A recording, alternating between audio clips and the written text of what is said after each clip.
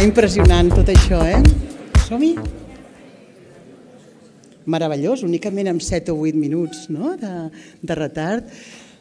Moltes gràcies, molt benvinguts tots vosaltres i benvingudes. Moltes gràcies per estar aquí, per haver posat a les vostres agendes un moment per aprendre, per aprendre més i per compartir coneixements. Com sabeu, com esteu notant, estic parlant en català. Eh?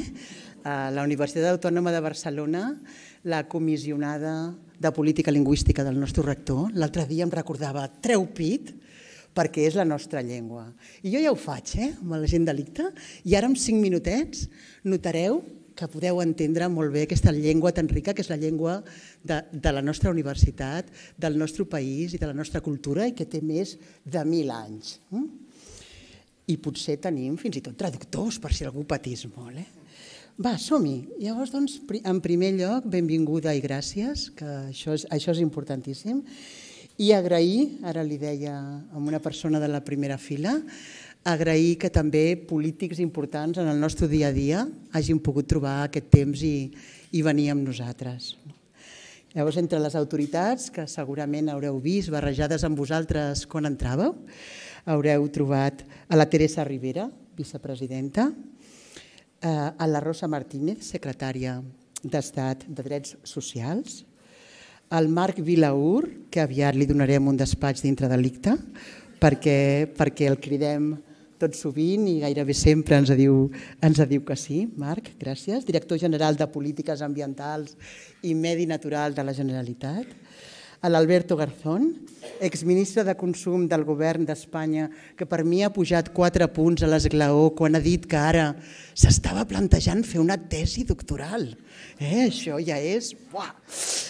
També benvolgut rector de la Universitat Autònoma de Barcelona, que has atès la nostra crida no? per estar aquí amb nosaltres i, i Carlos Prieto, que és el delegat del govern de l'estat espanyol aquí a Catalunya.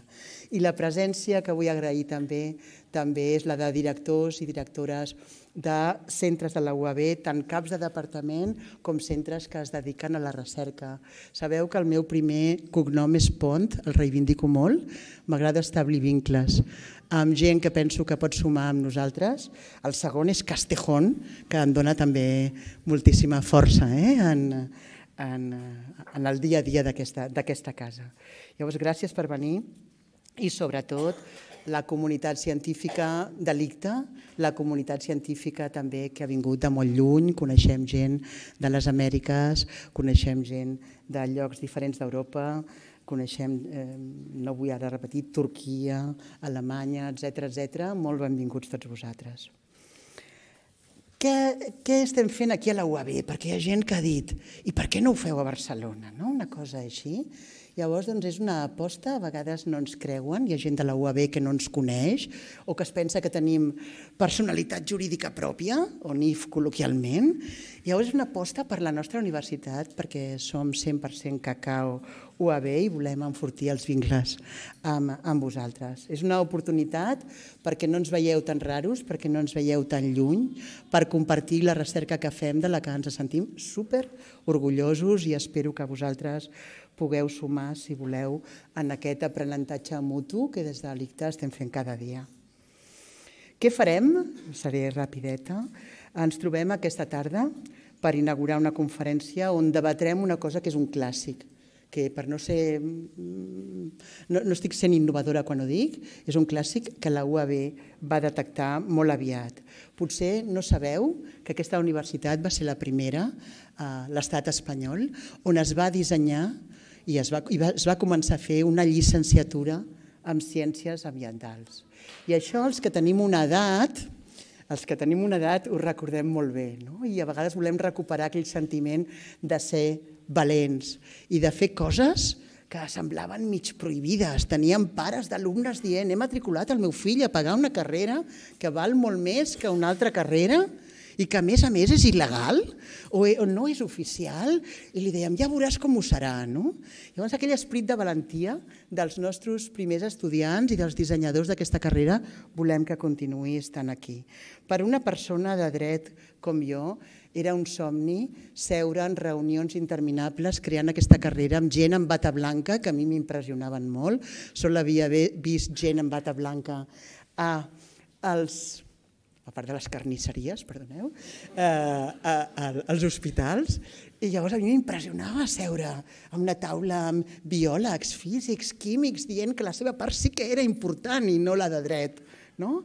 I llavors per mi en aquell moment era, era com màgic i tenia el Castejón molt potent en aquell moment i vaig aconseguir posar a la carrera la introducció al dret, al dret ambiental i el dret per a algú que volgués continuar l'administració pública. Per mi era això, ja em podia haver retirat en aquell moment, la veritat.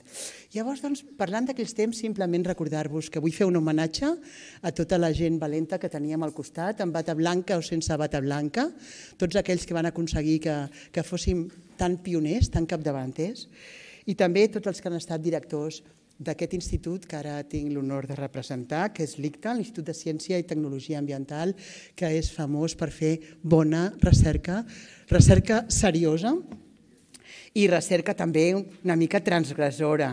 Ens, ara diem, des de fa unes setmanes, que el nostre lema, el nostre claim és Brave Science for a Changing World. Per què això tan potent? Perquè ens agrada ens agrada pensar que podem transformar coses i que podem canviar eh, canviar i proveir d'idees transformadores. Ens agrada pensar que podem fer això i provoqueu-nos també vosaltres a nosaltres en aquestes, en aquestes jornades. Com diu una amiga meva, tenim fama per, per la teoria a vegades del decreixement. Vale? Tenim fama per això, però també tenim fama per moltes altres coses. El que volem és, des de la ciència, sumar, fer coses amb solvència i també amb passió, sumant les dues coses. Les preguntes que ens farem aquests dies, algunes seran també un clàssic. Estem de veritat davant d'un desastre climàtic? Què podem fer des de la bioeconomia, des del Green New Deal, des del creixement eh, verd? Podem fer coses que siguin suficients per prevenir allò que no ens agrada que succeeixi? Quin és quines alternatives tenim al sistema actual de, de, de creixement? Quin és el rol dels oceans? Patricia Ziberi deu estar aquí, el seu equip, en el canvi climàtic. Com podem assegurar ciutats verdes? Isabel Angeloski i tot el seu grup de gent, no? Com podem assegurar ciutats verdes que beneficin a tothom de manera inclusiva, de manera justa? L'ICTA, com anireu veient, si no ho sabeu ja, tenim l'edifici caminant únicament a 10 minuts d'aquí, 10 o un quart d'hora, és allò com com el Google, no? que et diu que en 10 minuts arribes i jo necessito sempre 5 minuts més. Eh? bueno, pues, si voleu anar caminant cap a, cap a l'ICTA, que és un edifici emblemàtic, ara estem complint 10 anys des de que vam entrar allà i tinc ganes de celebrar-ho, a veure si m'ajudeu a preparar alguna cosa, alguna festa, pues, realment l'ICTA és un grup de gent que treballem amb temes una mica estranys, que no encaixen a vegades els nostres professionals amb els clàssics dels departaments que poden estar eh? encursetats molt bé en la recerca que fan, perquè nosaltres tenim gent que, que fa molta recerca intertrans multidisciplinar i aquesta gent és la que avui, demà i demà passat us parlaran. En l'ICTA mm, ens preocupa atendre bé a la nostra gent, la col·laboració, l'impacte, la diversitat, l'equitat, l'integritat, paraules que dites ràpidament no diuen res, però que si busquem el contingut diuen moltes coses, i estem treballant també especialment. Welcome, totes aquestes dones, eh? all the women, mm? estupendes en la ciència, perquè ara estem tan plens que, a no ser que ens donguin més espais, rector, a no ser que ens donguin més espais, doncs hem de captenir l'atracció de talent i centrar-la en, en dones i si pot ser que ens omplin els gaps no? que tenen a veure en temes més verds. I vaig tancant per dir-vos que què és el que volem avui. Estem aquí en una conferència organitzada per l'ICTA on hi ha 400 persones o més. Per nosaltres és molt important, espero que per vosaltres sigui profitós. D'aquesta conferència també volem que els departaments se sentin més lliures per apropar-se a nosaltres i als altres centres. Hem fet un esforç especial perquè 50 alumnes de la UAB vinguin gratuïtament a aquesta trobada. Agraïm molt la confiança del Ministeri corresponent que ens ha donat dos Maria de Maestus, dos, que això ja és en si impressionant, no? que et qualifiquin com a centre d'excel·lència i et subvencionin la teva creativitat, i ens agradaria presentar-se al tercer i tenir sort i sortir-se. Llavors, doncs, no vull deixar de, de, paraules que, que m'han trucat perquè digui, per dir-vos que hem preparat 30 sessions acadèmiques on es presentaran 120 treballs científics. Tenim quatre debats, quatre tallers de cocreació. Han vingut més de 30 pòsters per presentar la seva feina. Avui a les 8, si voleu anar al cinema Maldà, a Barcelona, hi ha una pel·lícula molt interessant, The Green Divide, i a part de tot el que treballarem, hi ha moltes sessions paral·leles per divertir-se també una mica. Llavors, doncs, acabo ja aquesta, aquestes paraules donant moltes, moltíssimes gràcies al comitè organitzador. Porten més d'un any organitzant això, espero que llueixi per mi i a veure si ja llueix tota la feina que han fet i que no es desanimin en el sentit de que les vacances són màgiques, espero que esborrin tot l'esforç que han hagut de fer per arribar avui aquí, no? tot el treball d'organitzar, que l'esborrin perquè puguin eh, una altra vegada tenir les hores i la capacitat de crear no? una altra conferència com aquesta. Moltes gràcies i benvinguts.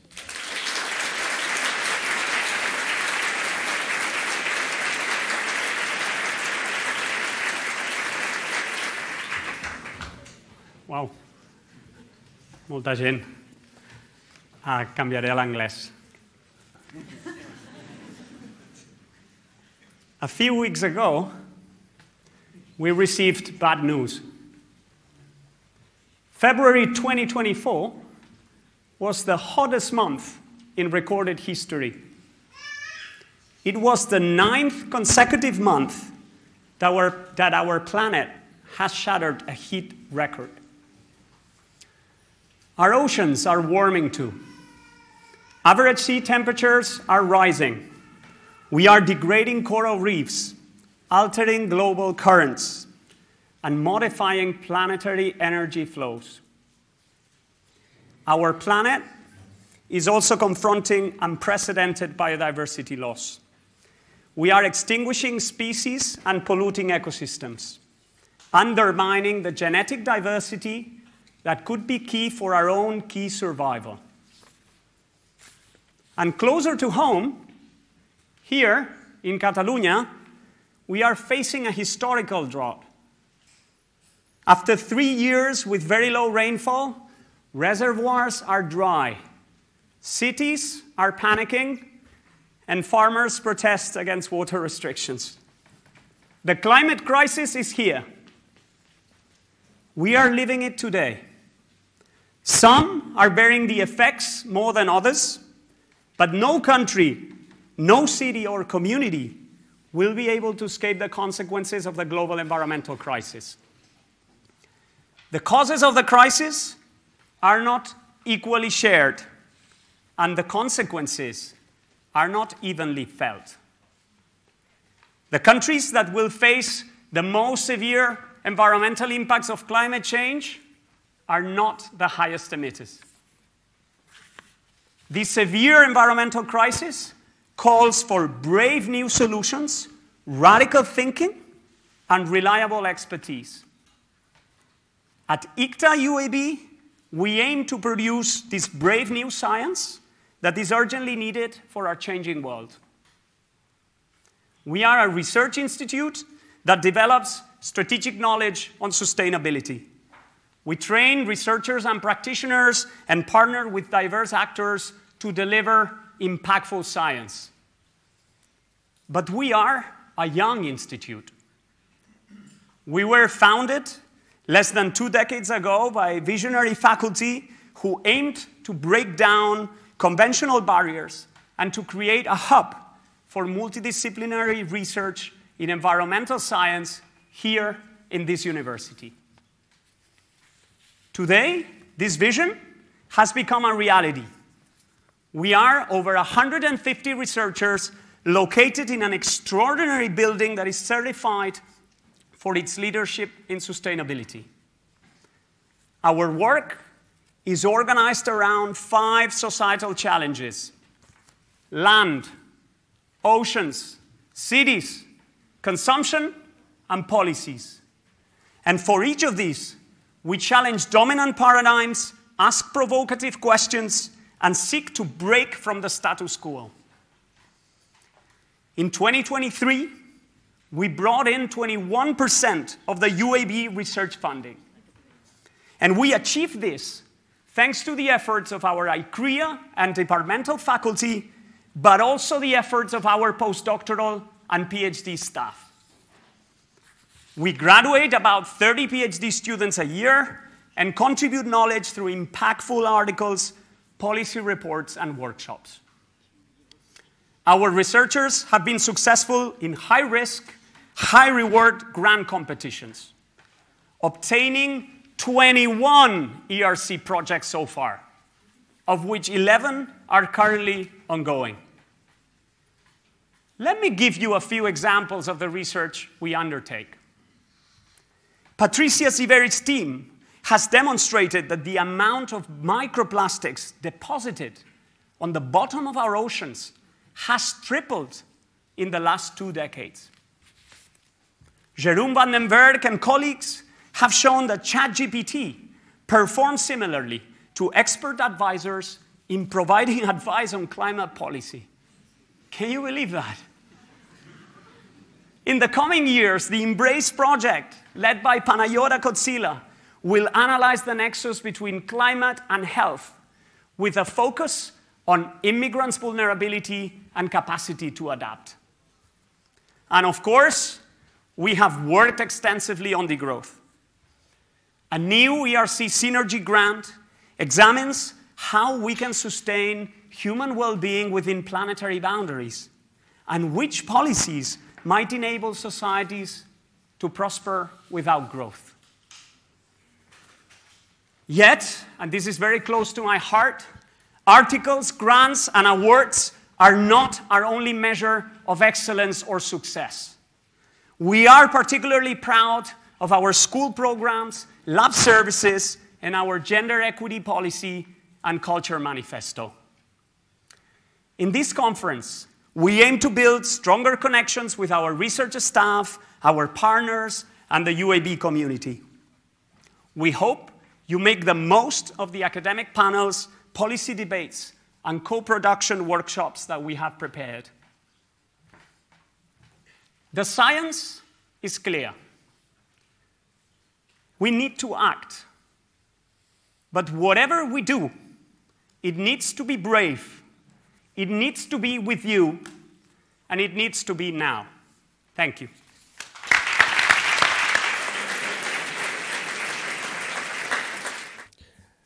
Bona tarda a tothom.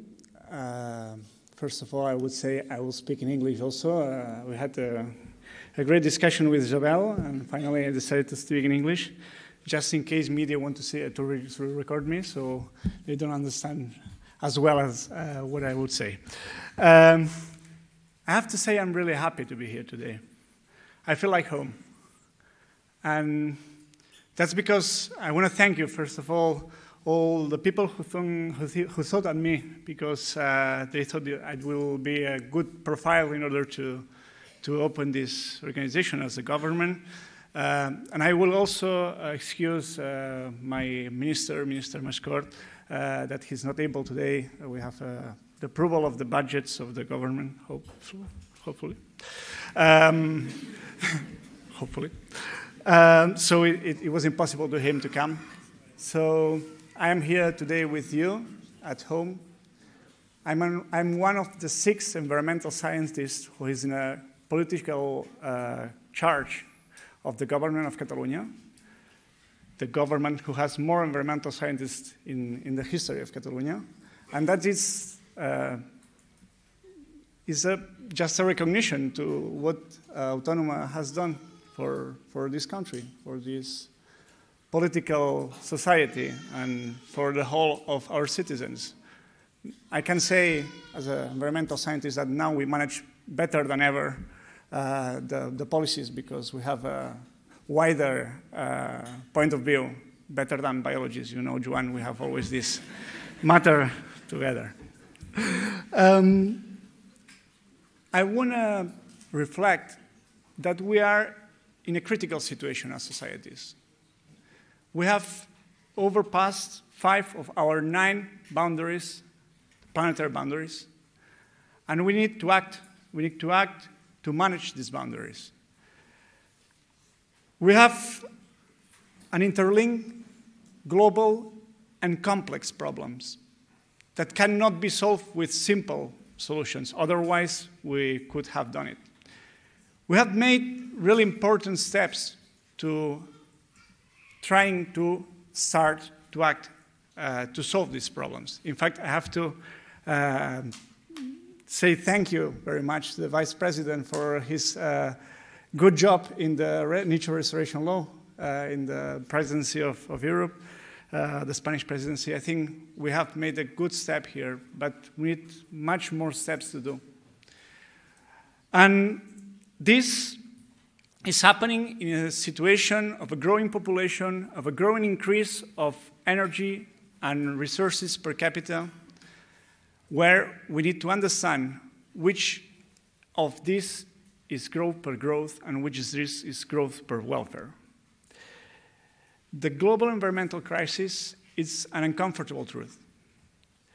It's happening in a social situation, in a social area, where we are focused in the tyranny of the femurs, just Zygmunt Bauman said. And some would say that politicians are responsible to solve this problem. And I can just say that we are, but we are not the only ones. We need to work together, researchers, policymakers, and social actors, in order to find a collaborative way to fight this problem.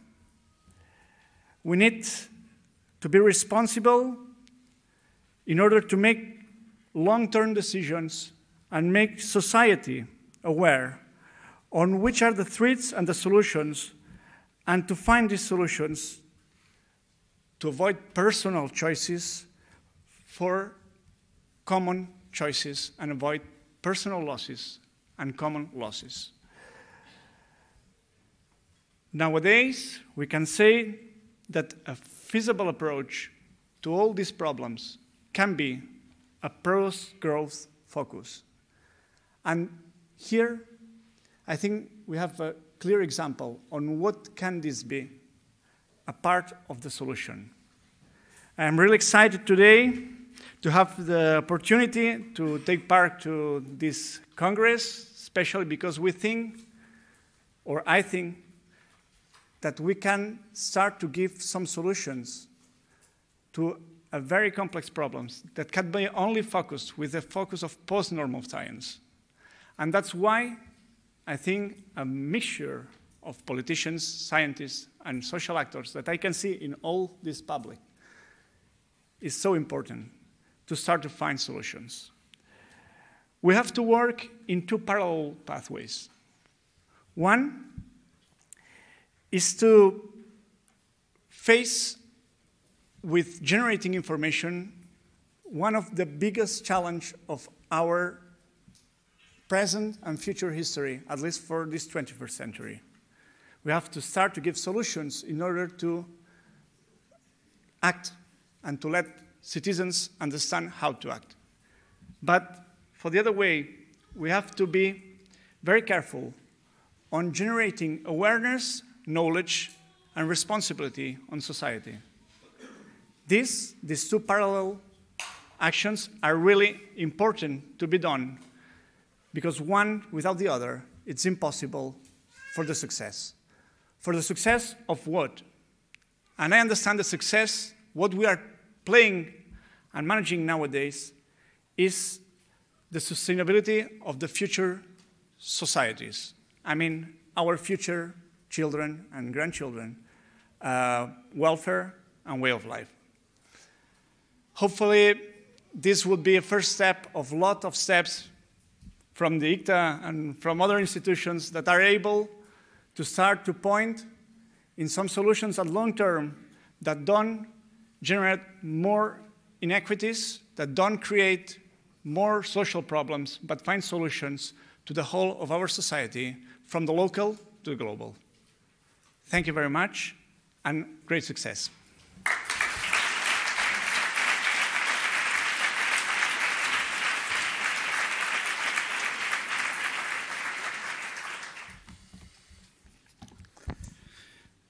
Vicepresidenta del Govern, secretari d'Estat, delegat del Govern, director general, ministre Garzón, eh, directora de l'Institut de Ciència i Tecnologia Ambiental, ICTA UAB, degà, director de l'escola, director científic de l'ICTA UAB, autoritats acadèmiques, assistents del Congrés, amics i amigues.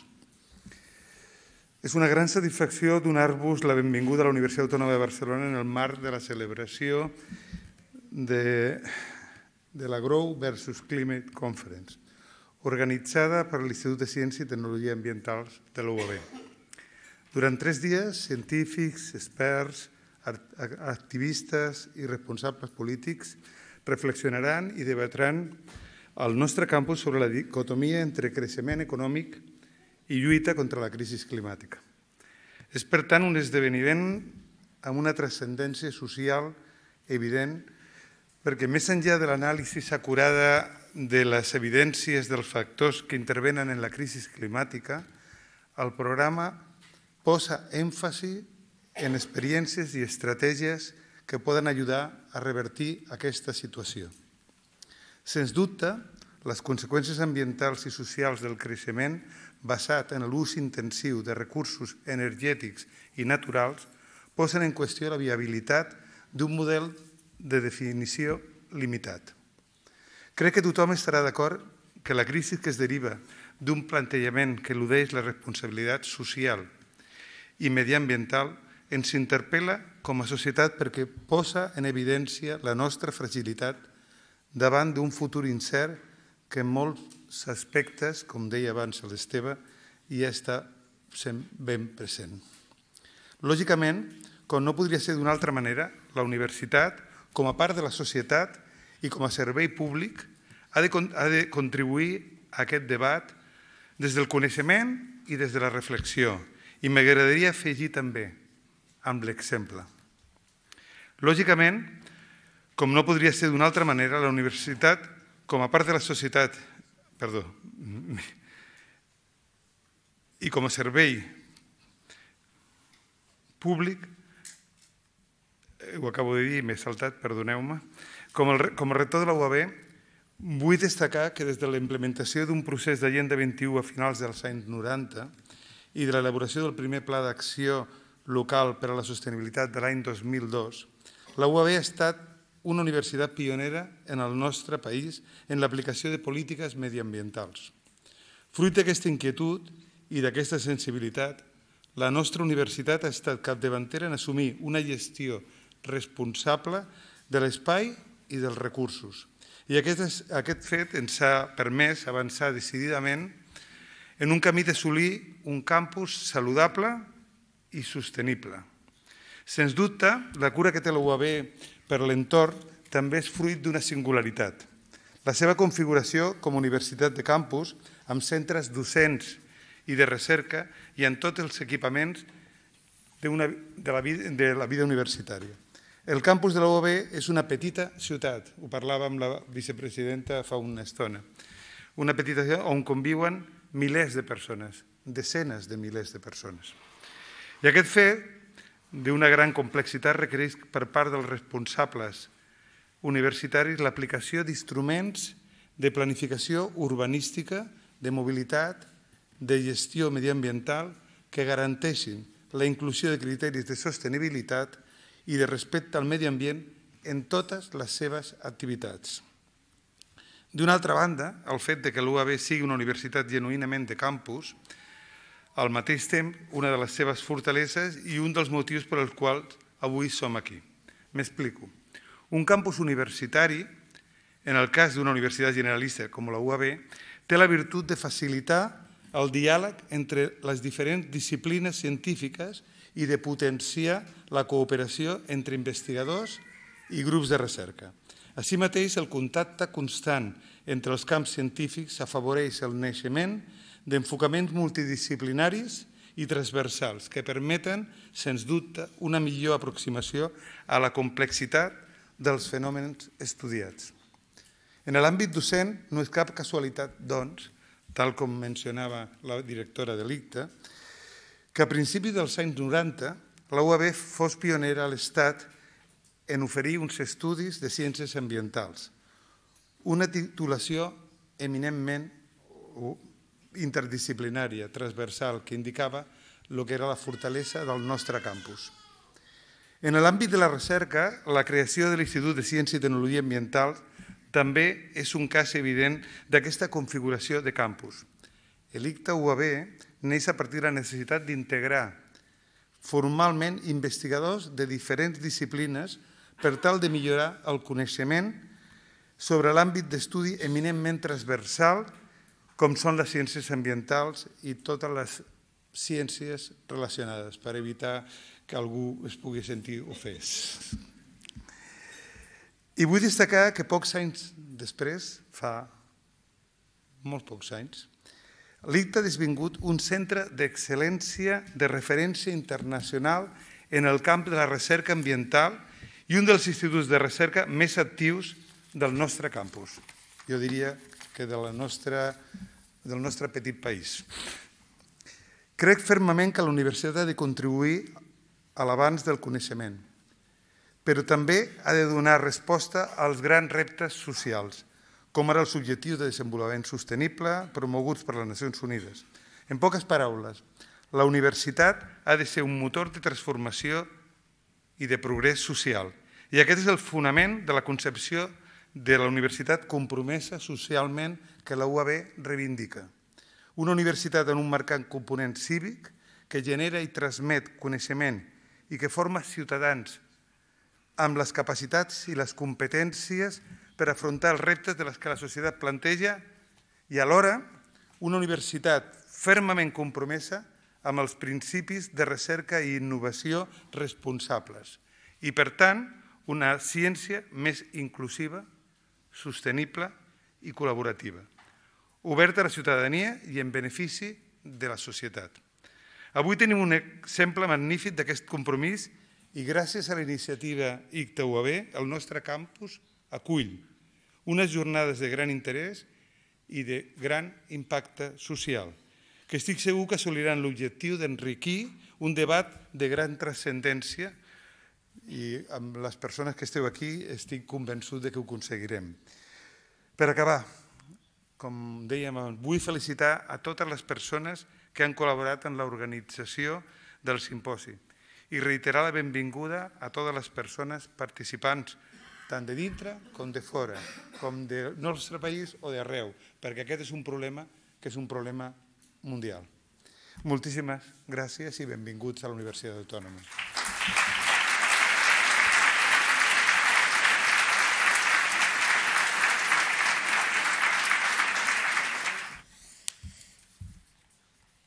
Muy buenas, muy buenas tardes. Buena tarde. Es, eh, es un gran placer para mí, rector, vicerrectores, directora, director eh, científico, secretaria de Estado, director general y tantos y tantos y tantos en la sala que, participáis en esta sesión en la que entiendo que uh, se quiere poner de manifiesto hasta qué punto solvencia y pasión como decía la directora del instituto, hasta qué punto razón y emoción son importantes si queremos tener los resultados que sabemos que debemos impulsar en un plazo de tiempo extraordinariamente corto. La razón es capital, el conocimiento, la ciencia, el entendimiento del pasado y el presente para poder proyectar qué queremos a futuro es absolutamente determinante. Y, sin embargo, paradójicamente, la razón sin sentimiento, sin factor humano, sin emoción, le cuesta mucho avanzar. Combinar ambas cosas, las disciplinas eh, científicas clásicas con las ciencias sociales, con la psicología social, con las emociones, con los valores, es determinante si queremos tener éxito. Y es verdad, los datos eh, que observamos ponen los pelos de punta. Son malas noticias, muy malas noticias. Tan malas noticias que a veces uno se sorprende de cómo es posible que no seamos capaces de entender, de proyectar qué significa, qué significa ese incremento de la temperatura media de la superficie terrestre, tantos meses acumulados rozando el 1.5 por encima de la temperatura media preindustrial o un incremento tan espectacularmente alto y sostenido de la temperatura media de la columna de agua. Aporto una primicia que mañana se dará a conocer. La temperatura media de este invierno en España ha rozado 1,9 casi 2 grados centígrados por encima de la temperatura media de los inviernos de los últimos 30 años. Y así todo. Vamos consolidando información enormemente preocupante, consecuencias de alteraciones en el clima con las que convivimos ya, constatación de que esto va más allá de la incidencia que pueda tener en el, tener en el entorno, en los ecosistemas, también lo tiene en nuestras infraestructuras construidas, en nuestros sectores económicos, en el bienestar, en la salud de las personas, en tantas y tantas cosas que proyectan razones suficientes como para cambiar drásticamente, con emoción, con pasión, con solvencia, nuestras trayectorias sabiendo que no está escrito, que seremos mañana o pasado mañana, pero que la carga de la inercia es importantísima. Para mí es un gran placer estar aquí por muchos motivos, por volver a este campus, por volver a la Universidad Autónoma de Barcelona, por hacerlo en un contexto donde aparece eh, como premisa fundamental, como titulares en eh, la casa anfitriona que nos reciben, las ciencias ambientales. Yo fui profesora asociada también de ciencias ambientales a la Universidad Autónoma de Madrid durante unos años. Quiero decir que me parecieron los chicos más listos que me he encontrado jamás porque tenían la capacidad de esa integración de la realidad poliédrica en la que vivimos. Debemos fraccionar la aproximación al conocimiento a la realidad empírica, al entendimiento, para poder intentar aproximarnos a comprender mejor qué es lo que ocurre, pero eso no significa que la realidad sea fraccionable. Se necesita tener esa visión de, conjunta, de conjunto, que solamente el entendimiento de sistemas complejos desde la biología, desde las ciencias ambientales, nos permite avanzar un poquito más y mejor. Así que para mí es también una gran satisfacción hacerlo aquí.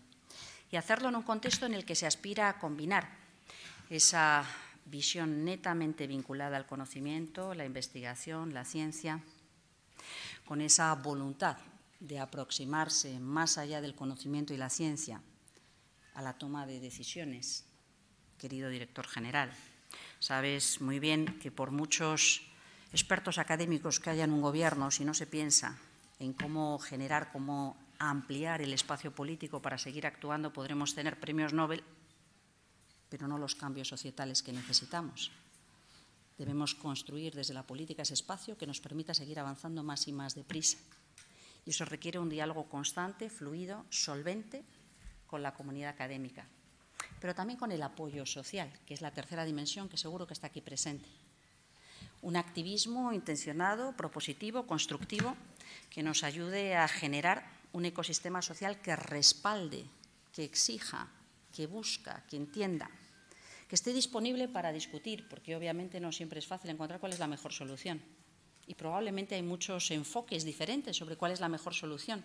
Y uno se siente un poco resentido cuando no es su solución la que parece prosperar, pero la que sin debate social, sin consenso, sin avances, es muy difícil. El consenso, evidentemente, sobre la base de la solvencia, no sobre la base solamente de las pasiones. Es muy difícil progresar. Y como decía, como decía también Esteban en su introducción, muchas de las preguntas que se plantearán en estos días son preguntas clásicas.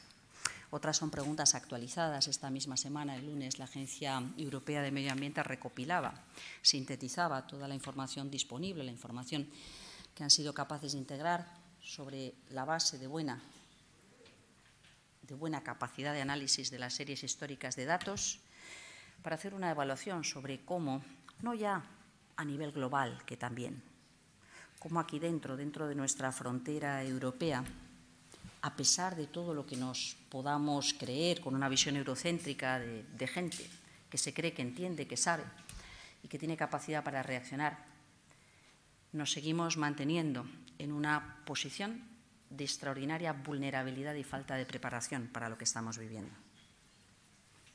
Como de nuevo las señales de alarma se activan en prácticamente todos los frentes y no solamente estos cinco grandes ejes de trabajo de este instituto. Cada uno de los pequeños aspectos de la realidad se ven profundamente afectados por este cambio.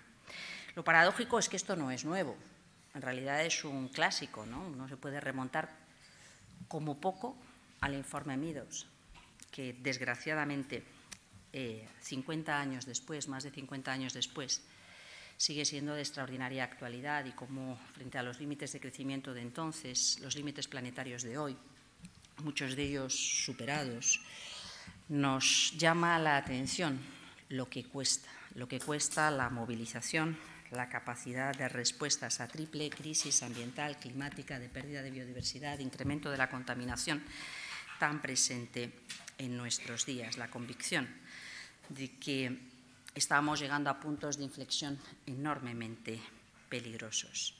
La convicción de que el uso de recursos supera con creces la capacidad de restauración, de recuperación, de regeneración por sí misma, con seis de los nueve límites planetarios superados o con la indicación de que el consumo de materiales se ha triplicado en 50 años. Aparecían antes reflexiones sobre la presencia de plásticos en fondos marinos y tantas, tantas variables tan preocupantes.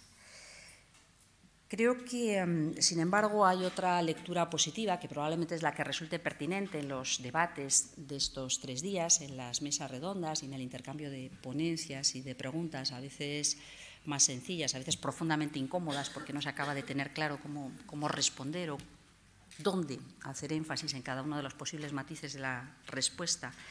Digo que hemos, hemos aprendido mucho.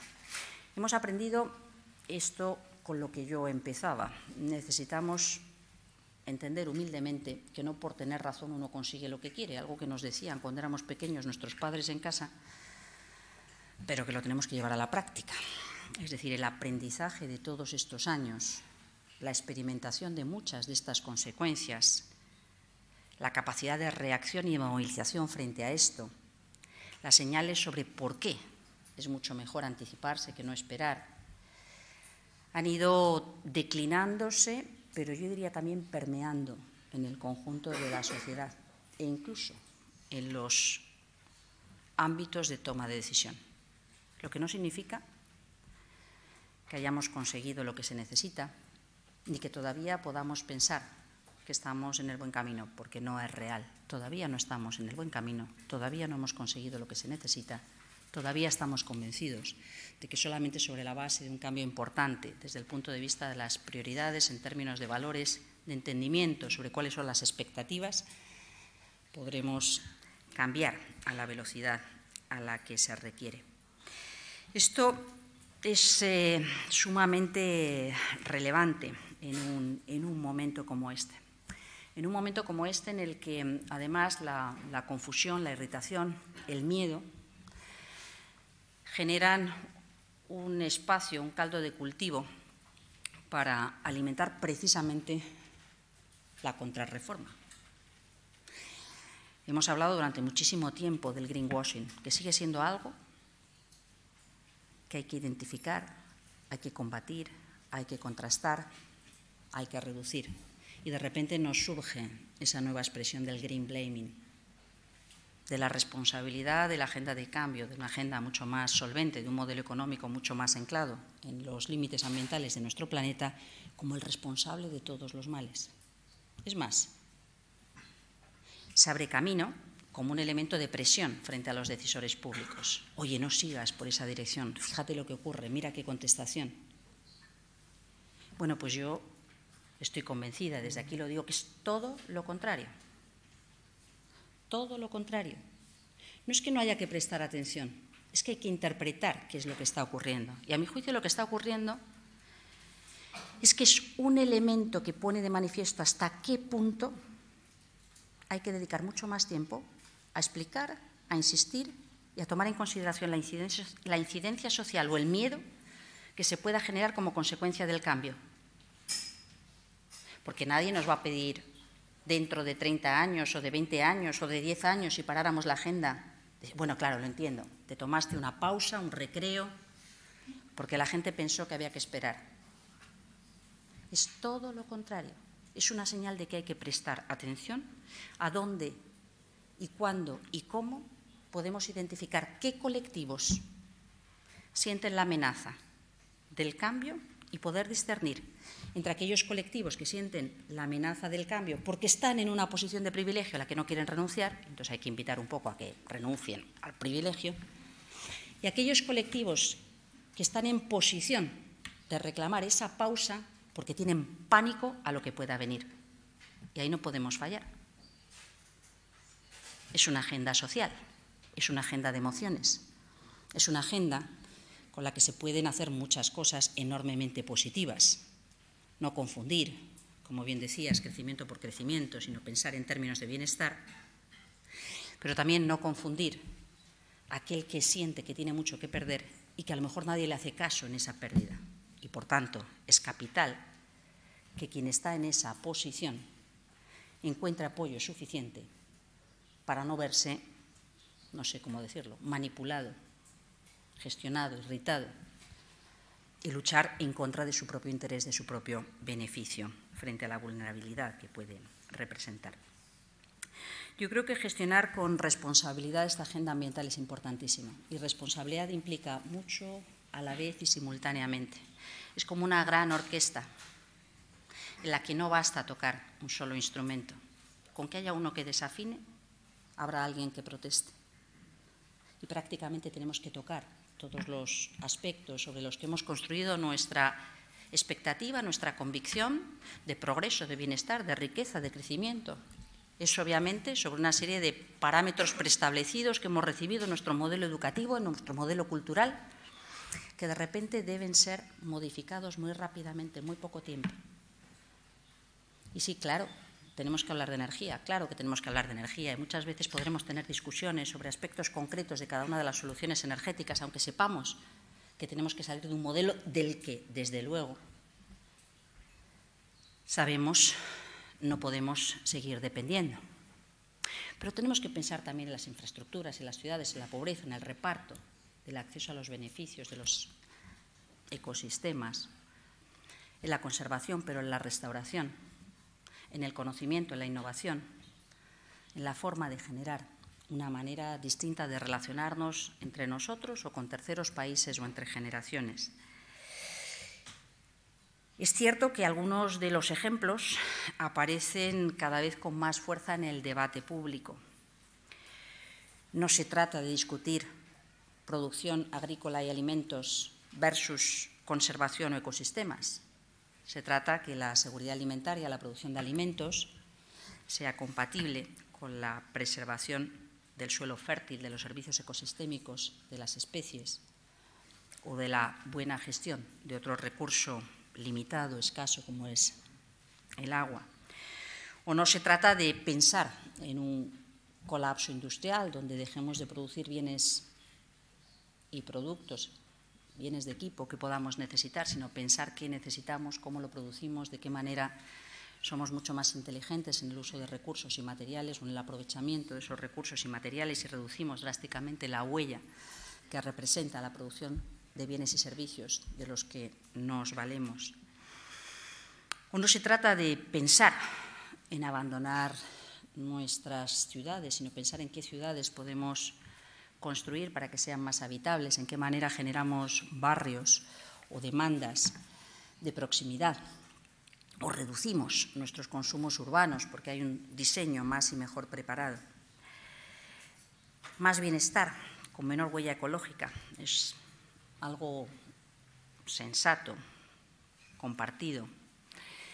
Y a partir de ahí empieza lo que yo sí creo que es una discusión real que todavía no ha tomado el debate público con la fuerza que se requiere, que son los cómo.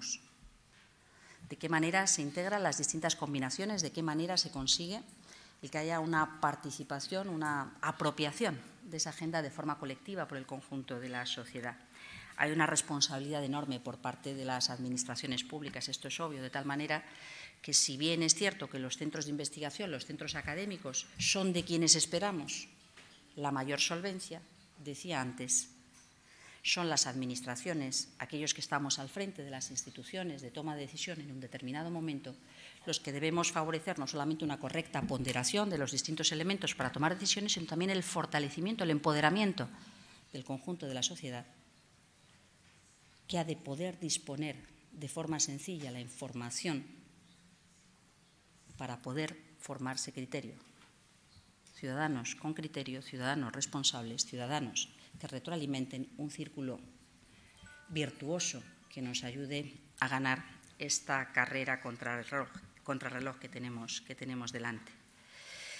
Y no es eh, sencillo, ya hay muchos campos complicados, campos minados, en los que mm, es también importante activar el proceso de reflexión. Muchas veces eh, este debate se se plantea lógicamente como un debate vinculado al, exceso del consumismo o a la, identificación del progreso con un modelo en el que el capitalismo, el sector financiero, la, financiarización de la economía o de la sociedad eh, han de alguna manera tomado un vuelo, una altura que les ha alejado de la realidad física, material que nos rodea pero es importante que eso se integre también en los procesos de toma de decisión, en el entendimiento de valor, desvalor, coste, inversión, retornos.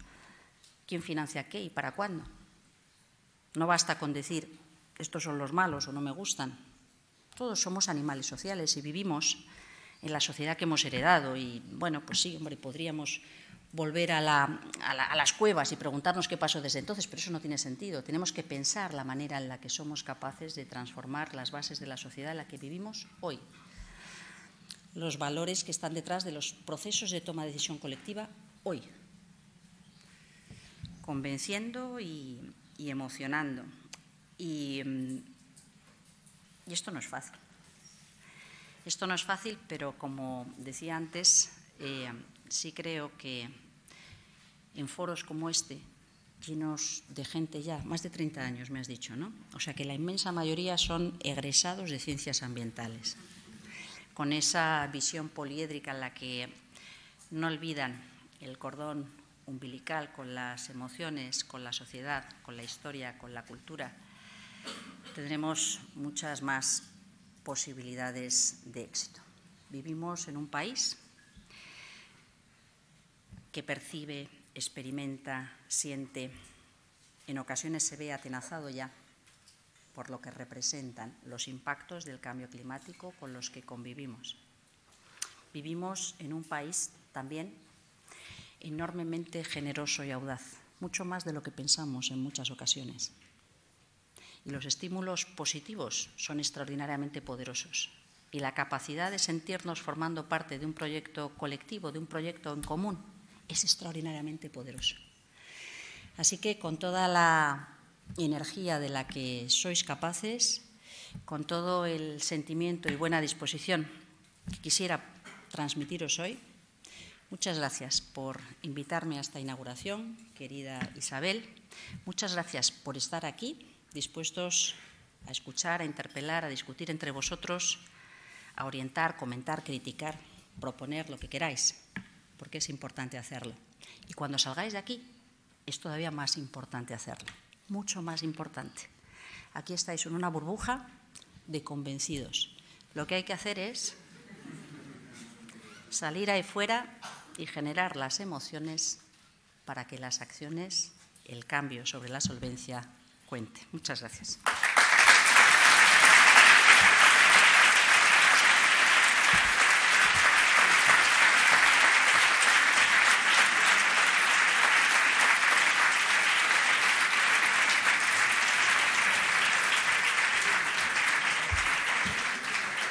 Hi, we will be continuing with the keynote and the debate after a five-minute intermission. Let me use the opportunity, though, to introduce you to Javi Royo, who will be uh, performing a live drawing of the different interventions. Javi Royo, he's a creator, an artist, an illustrator. He's created several books on creativity and feminism, titled Homo Machos, for example, quite provocative. And he's also the Spanish ambassador of the Positively Men UNESCO program, among other achievements. Thank you very much, Javi, for being with us.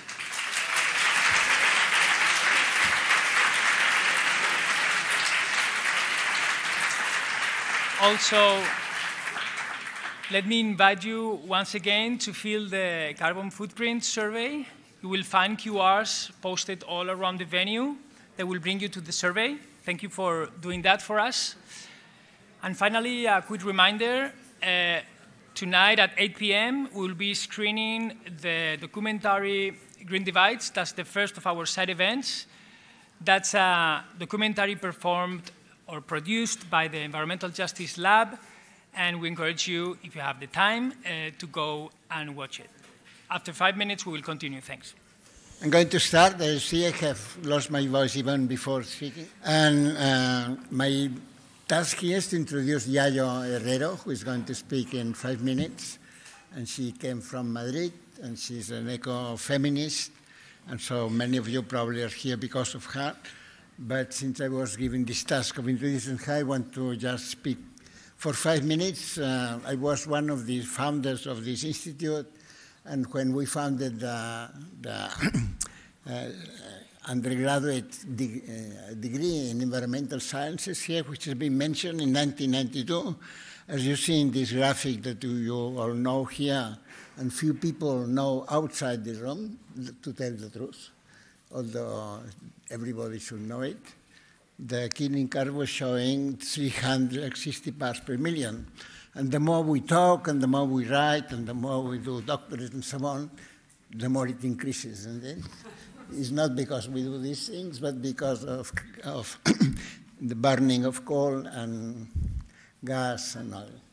So we are now, so I don't think we should be talking about uh, 1.5 or 1.9 degrees of temperature. This is much more clearer. This is going direct to 450 parts per million when the people here will be 25 years older or 30 years older now. And will go on increasing because what is happening is that there is an excess of fossil fuels being burned and there is not yet, we have not yet reached peak uh, emissions. So the next one. I can do it myself. The next time, what to do? Well, very briefly, one good thing in my view, in my view, because he was the minister of something in Spain they call el reto demográfico.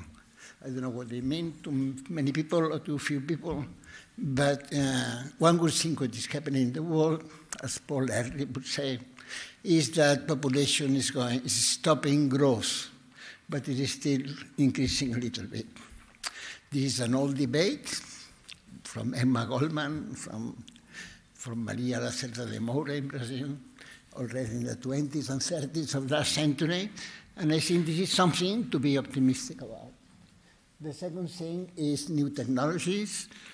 Post-normal science has been mentioned, what to do. I mean, the steam engine was an engine producing carbon dioxide, isn't it? But also producing many other things.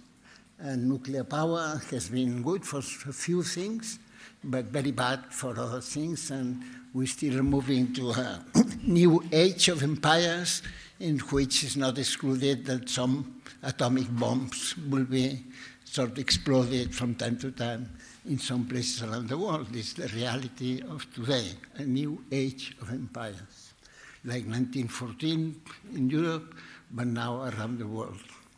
It's not the age of, of uh, decreasing the carbon dioxide, it's not the age of uh, stopping biodiversity loss, is the age of new empires looking at each other and thinking about wars, in the last two years at least. Then the third point is policies from governments. The growth has been mentioned, or a growth, or post growth. And it's true that in this institute there is a very strong group of people doing the macroeconomics uh, without growth in different ways, isn't it? And I think that Jason Hickel is going to speak in a few minutes, and many of you are also here because you are attracted, as myself, I am attracted by this uh, macroeconomics without growth. So this is going well at the level of thinking, but it's not going well in the reality. There are no governments who are preaching this uh, macroeconomics without growth, or even less, with some degrowth in energy materials. And the fourth thing is what brings us here in this session with Yayo Herrero, Yayo Herrero because it's about uh, other social actors, environmentalists, which sometimes are criminalized, as has happened actually in Spain, with, some people who were complaining in Madrid against climate change, who are, I don't know whether in jail or they are. Yayo Herrero perhaps can know, I'm sure she knows some of them in person. So this is the last one.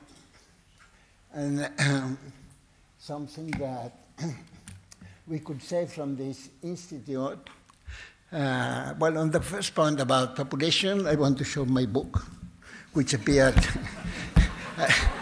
I told somebody that I have to introduce Yayo Herrero, but I will reintroduce myself, although many people know me here.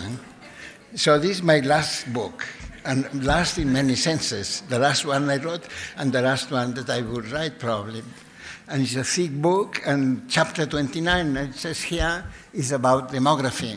But there are 30 chapters, so everything's in this book, which is called, in, in Spanish, in Catalan, would be Terra, Agua, Haya y Libertad, which is, uh, is, well, it goes back also some uh, decades to social movements. Tierra, agua, aire y libertad. Tierra y libertad was well known. And the subtitle is The Making of World Movements for Environmental Justice. And ICTA, and this I'm finishing, ICTA is an international institute. It's also a Catalan institute. It's in the Iberian Peninsula, but it's an international institute. That's why some of us are speaking in more international, this kind of international English. And it's international, for instance, to speak about people I know very well because they have been my, my students. Uh, Brototi Roy, who I don't know who is here in the room, she has a very famous article who published one year or two years ago with Anki Shaf which is called The Transition to Coal in India, not away from coal, but the transition to coal in India. Well, this is a product of Brototi Roy and Anke Schaffartzik, but it's also a product of this institute. Another thesis which is being uh, submitted this week, this very week, in two or three days, is by Bao Gu, and it's about coal in China. Well, China is not moving to coal, it's already in coal, isn't it? Four billion tons of coal every year, and it's not going back on this. So it's not a question of blaming India or blaming China, but it shows that there is no energy transition in the world. There is a lot of talk about it, but there is no energy transition. And one could go more about this. And also another article we have published recently by Marcel Llavero, who's here in the room, is about the Total Energy Company. The Total Energy Company is a French company, but instance, in my room or in my in my house, in one of my houses, we get uh, uh, the company now is Total Energy from France. Total Energy is everywhere in Mozambique, in the Arctic. This article, if you look at it, by Marcel Llavero, published just a month ago, is an article in which there is a photograph of Patrick Pouyanné, who is the CEO of Total, with Putin, you know, Putin from Russia on one hand, on one arm, and uh, Macron on the other arm, four or five years ago. And this is the reality of the world. I mean, we are doing more uh, sort of business ecological economics and political ecology now, and this is one of the best examples. So that's what I wanted to say, and I'm finishing here. I introduce now, because I'm talking about actors and what to do, Yayo Herrero. Yayo Herrero is from Madrid, as I said, or lives in Madrid. Uh, You're from Asturias? No. Ah. Vive en Cantabria y es de Madrid. Y es una ecofeminista, esto sí que es verdad. Y ha estado muchos años en Ecologistas en Acción, que es un grupo ecologista, como hay otros en el mundo, y que se dedica a, más que nada, visibilizar muchos conflictos ambientales que hay en, en la península ibérica, vamos a decir, eh, incluyendo a veces los de Portugal también, ¿verdad? Porque los eucaliptos, el agua, todo esto va a Portugal. So, sin decir nada más, Yayo Herrero, por favor, espero no haberte quitado tiempo.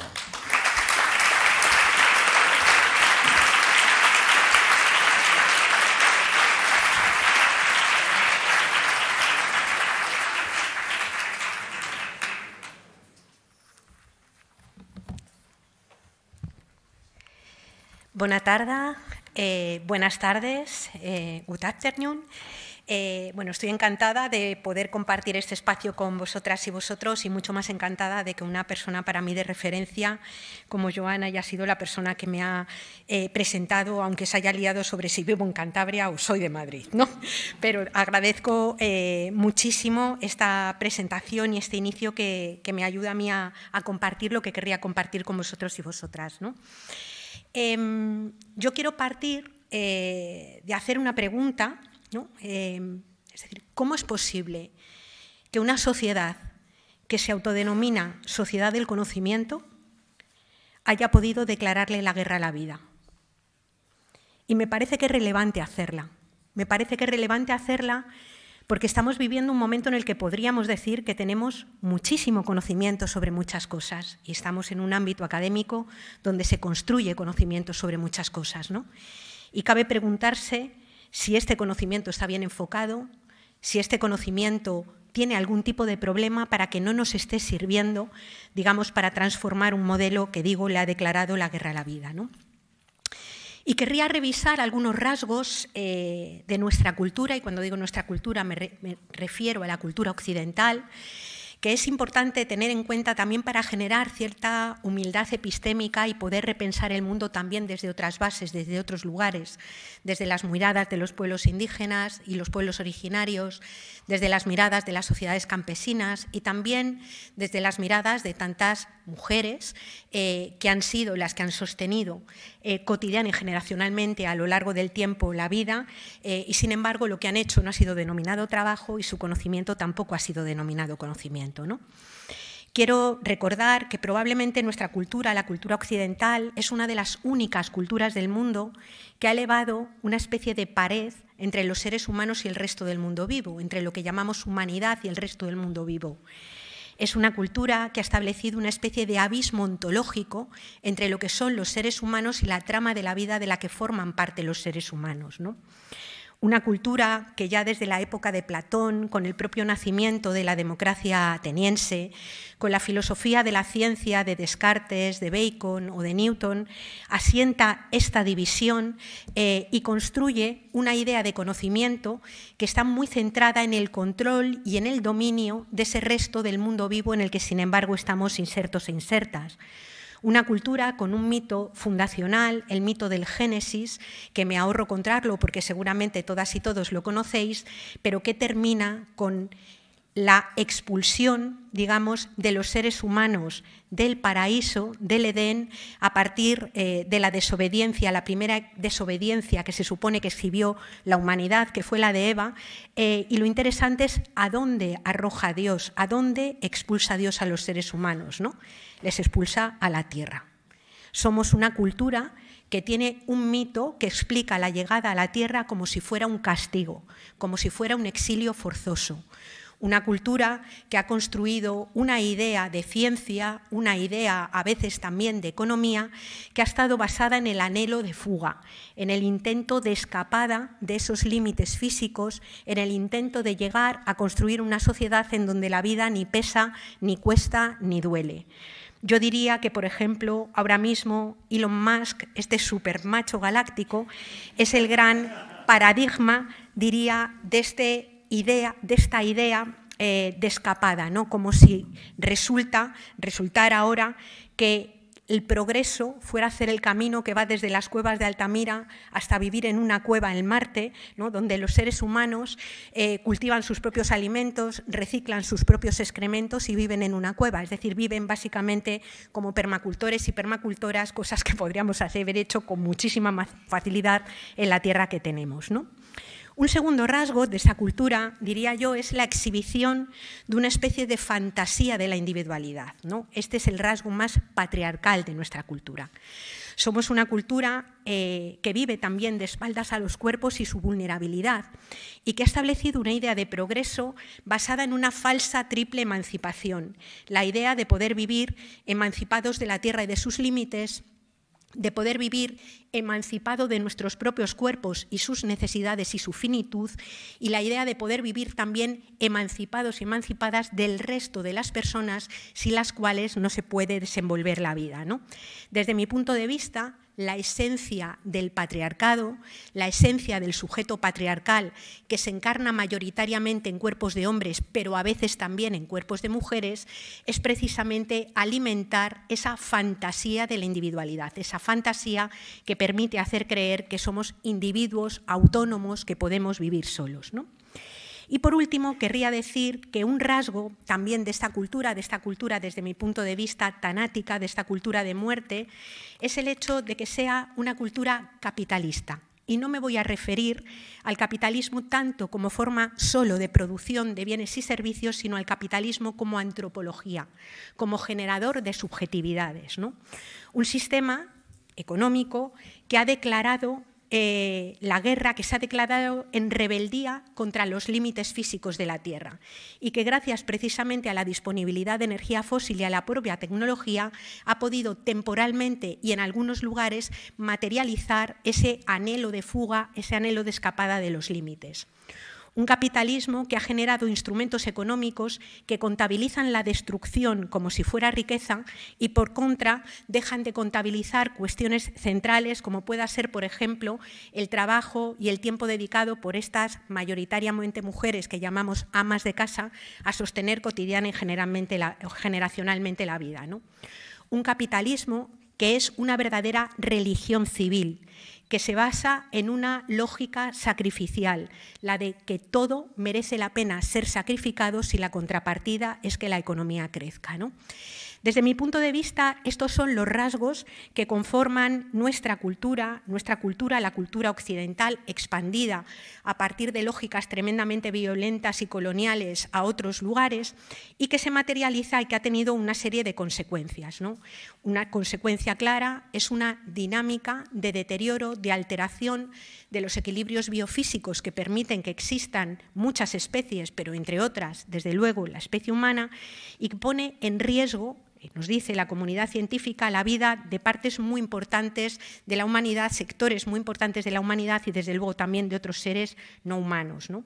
Una crisis que viene marcada por la superación de los límites biofísicos, no voy a entrar en esto porque ya se ha venido comentando en las intervenciones anteriores, eh, que pone mucho el foco en el cambio climático, pero tengamos en cuenta que el calentamiento global o el caos climático es una dimensión, tenemos problemas con el ciclo del fósforo, tenemos problemas con el ciclo del agua, tenemos problemas con la renovabilidad de la fertilidad de los suelos, tenemos múltiples problemas, no hay solo un problema que podamos centrar en la dinámica del caos climático, siendo un problema como es absolutamente crucial. ¿no? Un problema también de escasez inducida de minerales y de energía. Quiero nombrar que también nos encontramos, dicen muchas personas desde el ámbito científico, ante el declive de la energía fósil y de los minerales. Y me parece importante decirlo en un mundo que podríamos decir que come petróleo, en un mundo que podríamos decir que produce alimentos gracias a la disponibilidad de unas cantidades ingentes de petróleo. ¿no? un mundo de producción deslocalizada, un mundo, eh, digamos, en donde em, la dinámica colonial tiene un factor central. No se puede explicar nuestro modelo de desarrollo si no es mirando cara a cara su radical colonialidad, su radical violencia y también el genocidio que ha acompañado a esa colonialidad. ¿no? Lo vivimos, por ejemplo, yo por venir de donde vengo, eh, quiero decir que se vivió en lo que se llamó conquista de América, en lo que fue Yala, que fue un proceso genocida y violento. Se vive hoy en Gaza, donde el problema de genocidio televisado al que asistimos no tiene como Big Bang el horrible atentado de Hamas, sino la dinámica colonial que comienza en 1917 y 1918, cuando Inglaterra le cede a los grupos sionistas un territorio que decían que era un territorio sin pueblo, quiero recordar que detrás de la idea de lo vacío, detrás de la idea de lo nuevo, hay una violencia epistémica crucial.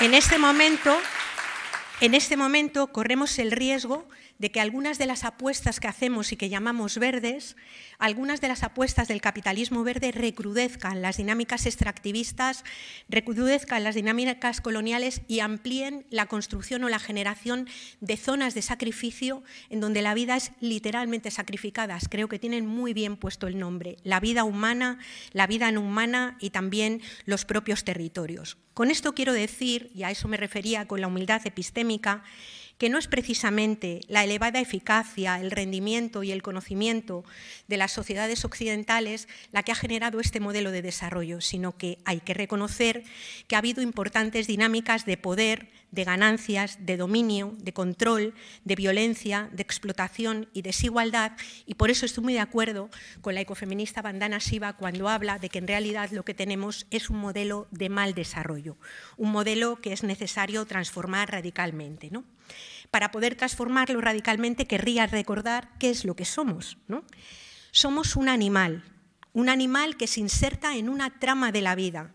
Recuerdo, no haría falta aquí, lo sabéis mucho mejor que yo, trama de la vida formada por aire, por agua, por tierra, por microorganismos, por plantas, por animales, que interactúan entre sí y que generan las propias condiciones de existencia de lo vivo a partir de esa, eh, de esa interacción entre sí. Es decir, no somos seres humanos que fabriquemos el agua ni que fabriquemos nuestras propias condiciones de existencia. Las fabrica la trama de la vida de la que formamos parte. En segundo lugar, quiero recordar, por tanto, que no hay economía posible sin trama de la vida, como no hay tecnología posible sin trama de la vida. Pero además, una a una, las personas somos seres vulnerables y finitas. Mirada a la vida desde nuestro propio ombligo es el tiempo que transcurre desde que nacemos hasta que morimos. Miradas desde el sentido de pertenencia a la trama de la vida es un proceso que viene durando 3.800 millones de años y que se ha mostrado extraordinariamente resiliente a lo largo del tiempo. Como seres humanos que somos, como seres eh, individuos finitos, somos seres necesitados. Esto me parece que es importante decirlo porque voy a defender que somos seres vulnerables porque somos seres que tenemos necesidades de alimentos, de acceso a la energía, de agua, de vivienda y de cuidados. La vida de un ser humano en solitario es literalmente inviable. Una criatura recién nacida necesita tiempo de atención de otras personas simplemente para poder sobrevivir a los primeros años. ¿no? Somos probablemente uno de los animales que nacemos más crudos y que necesitamos más tiempo de otras personas para poder existir. Pero pensemos en sociedades como las nuestras, donde afortunadamente llegamos a ser muy viejas y viejos. Hay muchas personas mayores que no se pueden levantar de la cama, ni acostar, ni salir a la calle, ni asearse si no hay otras personas que están alrededor.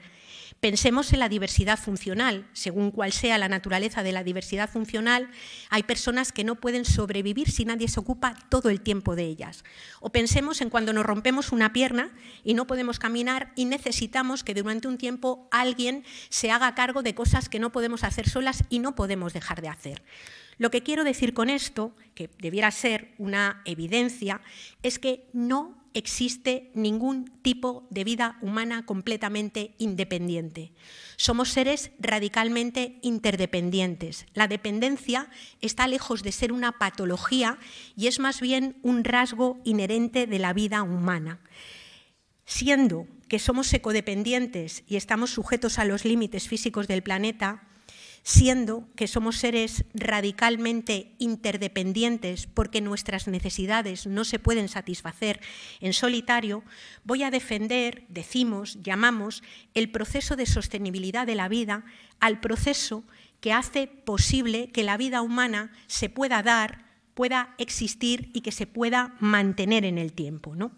Es decir, una vida nacida no constituye en modo alguno una certeza, una vida nacida es una vida posible. Y esa vida posible se transforma en una vida cierta en la medida en la que haya una sociedad con la que se interactúa, que interactúa con la trama de la vida para producir lo que hace falta y que interactúa entre personas para asegurarse que nuestro cuerpo esté vivo. Cuando las necesidades humanas no están atendidas, la vida humana o no es viable o es una vida precaria.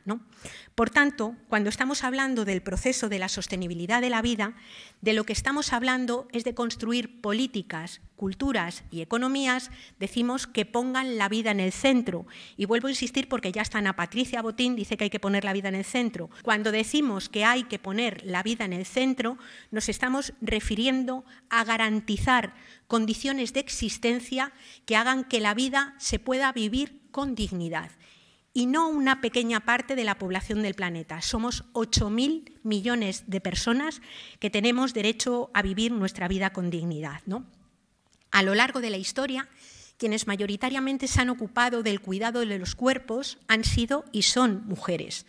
No porque estemos mejor dotadas genéticamente para ocuparnos del cuidado de otras personas, sino porque vivimos en sociedades que denominamos patriarcales y que asignan de forma no libre mayoritariamente a las mujeres esa tarea en una tarea que no es denominada ni trabajo, cuando a las amas de casa que han estado disponibles eh, durante 50 años de su vida, 24 horas al día, les preguntan qué hacen, la respuesta es no, no, yo no trabajo, yo me dedico a mis labores. Y cuando las encuestas de población activa miden a la población activa, resulta que deciden que aquellas personas disponibles 24 horas al día y 365 días al año a producir bienes y servicios, bienes económicos dentro de los hogares, se les llama población inactiva. ¿no? Eh, quiero decir que no hay forma posible de pensar las transiciones ecosociales justas sin tener esto en cuenta. Para mí, eh, básicamente, pensar esa transición supone responder a una pregunta.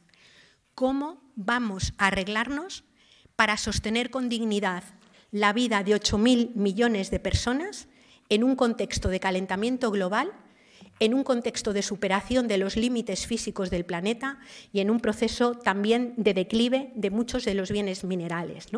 Y esa, desde mi punto de vista, es la pregunta que yo os animaría en vuestro trabajo a intentar contestar. Es la que intentamos contestar también desde el nuestro, ¿no? desde los espacios que no son académicos, pero también producen conocimiento. Quiero decir o tratar de aludir a la pregunta que titula este encuentro, crecimiento eh, versus clima. ¿no? Y quiero señalar que la propia comunidad científica, en su último informe del IPCC, menciona la palabra de crecimiento un montón de veces en el informe, aunque no haya salido tanto en los resúmenes que se han venido haciendo. ¿no? Y lo digo porque lo que nos dice la comunidad científica y escribimos en nuestros papers de forma constante es que poder garantizar mantener el cambio climático más o menos a raya, aunque haya inercias a las que hay que, eh, a las que, hay que adaptarse, supone cambiar radicalmente, descarbonizar radicalmente la economía. Supone pensar en producir de otra manera, pero la palabra clave es menos. La palabra clave es menos.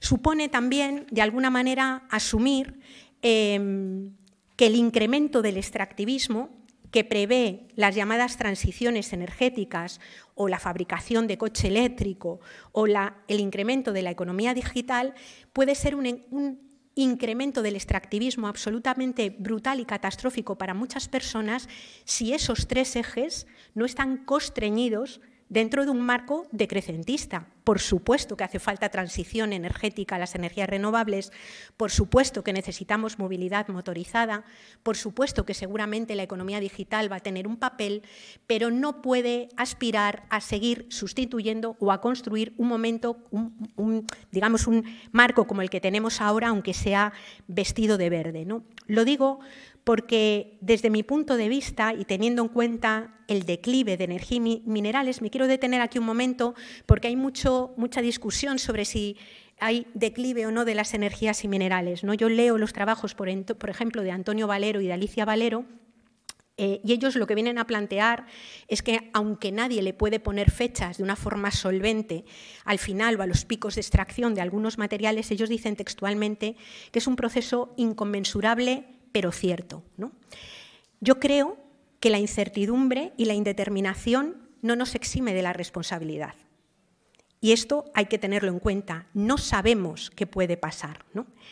Y si de alguna manera eh, creemos, eh, o no creemos, más bien como es mi caso, que quizás Prometeo vuelva a poder robar el fuego a los dioses, lo que nos toca es planificar la conservación de lo que tenemos, eso es desde mi punto de vista lo responsable, desde el planteamiento de la sostenibilidad de los 8.000 millones de personas que habitamos el planeta. Por tanto, querría decir que para mí el decrecimiento no es una propuesta política, no es un tema en discusión, sino que yo prefiero utilizar la palabra decrecimiento para referirme a las magnitudes físicas que sí o sí decrecerán. Es decir, para mí el decrecimiento no es tanto la propuesta, sino el contexto material en el que se va a desenvolver la vida en común, en el que se desenvuelve la vida en común. Y por tanto, lo que sí es la propuesta política, una propuesta política para mí deseable, es el cómo lo vamos a hacer teniendo en cuenta que pretendemos eh, salvar o mantener o conservar o cuidar la vida de todas las personas que habitamos el, el planeta. ¿no? En este marco, yo diría que una transición ecosocial justa, y uso la palabra transición como la define el diccionario de la Academia de la Lengua Española, una transición es un cambio en el modo de ser y de estar. Una transición ecosocial justa es o viene a ser, o la hemos definido en algunos procesos colectivos, un proceso planificado y deseado que garantice condiciones dignas de existencia a la población, a toda la población, en un contexto de contracción material y de cambio en los equilibrios biofísicos eh, y además un proceso que garantice la vida de las generaciones futuras y del resto del mundo vivo. Para mí esa es la transición ecosocial. Y creo que de no hacerla así, el problema que tenemos es que se hará con criterios de mercado. ¿Y cómo ataja o afronta el mercado, digamos, este tipo de contextos cuando solamente razonamos a través de la vara de medir del dinero? Pues el mercado razona diciendo que quien tenga dinero para pagar lo que desee, lo pague, y quien no tenga dinero, quede fuera. Estamos viviendo un momento en el que, desde mi punto de vista, estamos empezando a vivir eso que Rita Segato ha, denominado la quiebra de la razón humanitaria. Si la valla que rodea la Europa rica, además de no dejar entrar personas migrantes, no deja entrar pesca, alimentos, minerales y energía de los países de esas personas migrantes, la Europa rica no dura ni dos meses. Y esto creo que sin tenerlo, hay que voy a ser muy provocadora, me vais a perdonar, eh, pero no tener esto en cuenta conduce a una cosa que yo creo que rigurosamente se puede denominar fascismo. Es decir, el hecho de que se instale una especie de supremacismo que haga que aquellas personas protegidas por el poder económico, político y militar sigan manteniendo estilos de vida que no les corresponden desde el punto de vista de la justicia, a cambio de que cada vez haya más personas que queden en los márgenes de la vida o fuera de la propia vida. Las propuestas que lanzamos desde las miradas ecofeministas, que no son las únicas miradas, hay muchas otras que las comparten, son propuestas eh, que parten de reconocer ese decrecimiento de la esfera material de la economía y apuestan por una serie de principios, el de la suficiencia, el principio de la suficiencia entendido como derecho y como obligación. Como derecho porque hay quien no tiene lo suficiente y tiene derecho a tenerlo, y como obligación porque hay personas que tienen mucho más que lo que le corresponde y como decía antes Teresa Rivera, tenemos que ver entre todas a ver cómo les animamos a que suelten aquello que de buen rollo no quieren soltar. ¿no?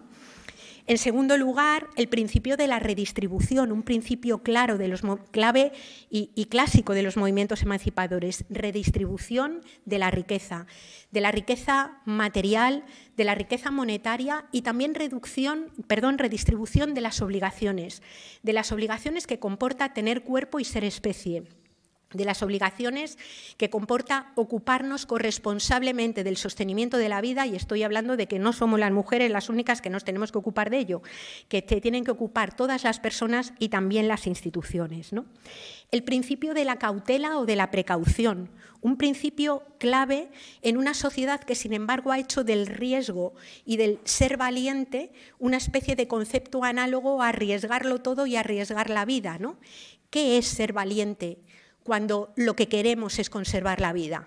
Activistas como Lolita Chávez, que han salido de su país amenazadas de muerte, amenazadas de muerte por las actividades de algunas empresas que cotizan en el IBEX 35.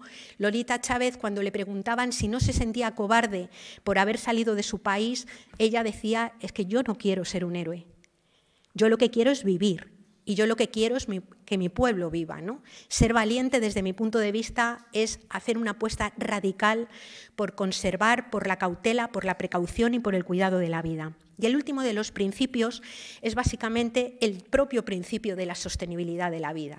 Algunas personas, después, durante la pandemia, trabajamos en tratar de plantear una especie de plan nacional de cuidados. Y las preguntas no eran solamente quién le va a poner el pañal a quien no se lo puede poner solo o quién va a dar de comer a quien no puede comer sola, sino cómo sería una ley de extranjería desde la perspectiva del cuidado, cómo sería una ley de vivienda, cómo sería la fiscalidad, cómo sería la producción de alimentos, cómo sería la educación.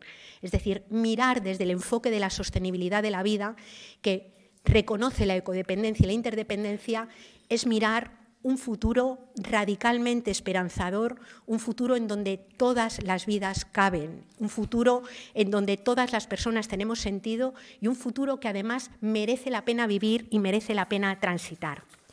Y termino compartiendo eh, una reflexión que he hecho muchas veces, yo la aprendí de Enrique Telló y de Cristina Carrasco, que escribieron un artículo en donde ellos hacían una relectura del primer artículo de la Declaración de los Derechos Humanos, que yo de alguna manera modifiqué y a ellos les pareció bien eh, que se la modificara y que quiero compartir. ¿no?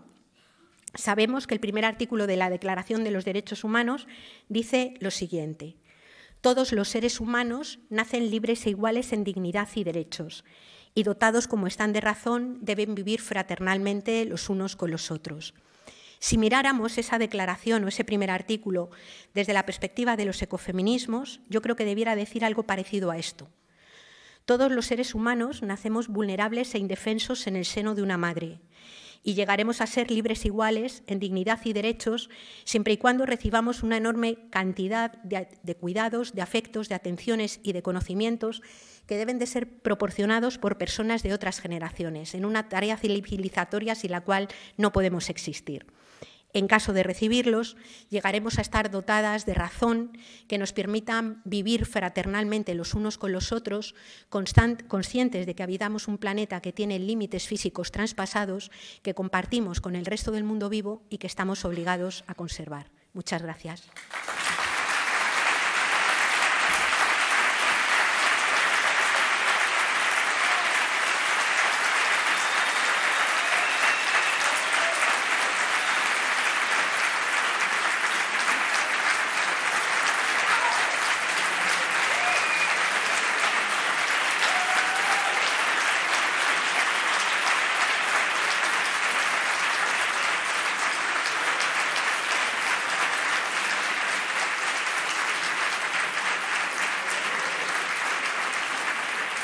Estas palabras ¿no? que nos remueven tantas cosas ¿no? y que nos inspiran y nos conmueven. Vamos a continuar con ese reto de responder algunas de las preguntas que nos has planteado.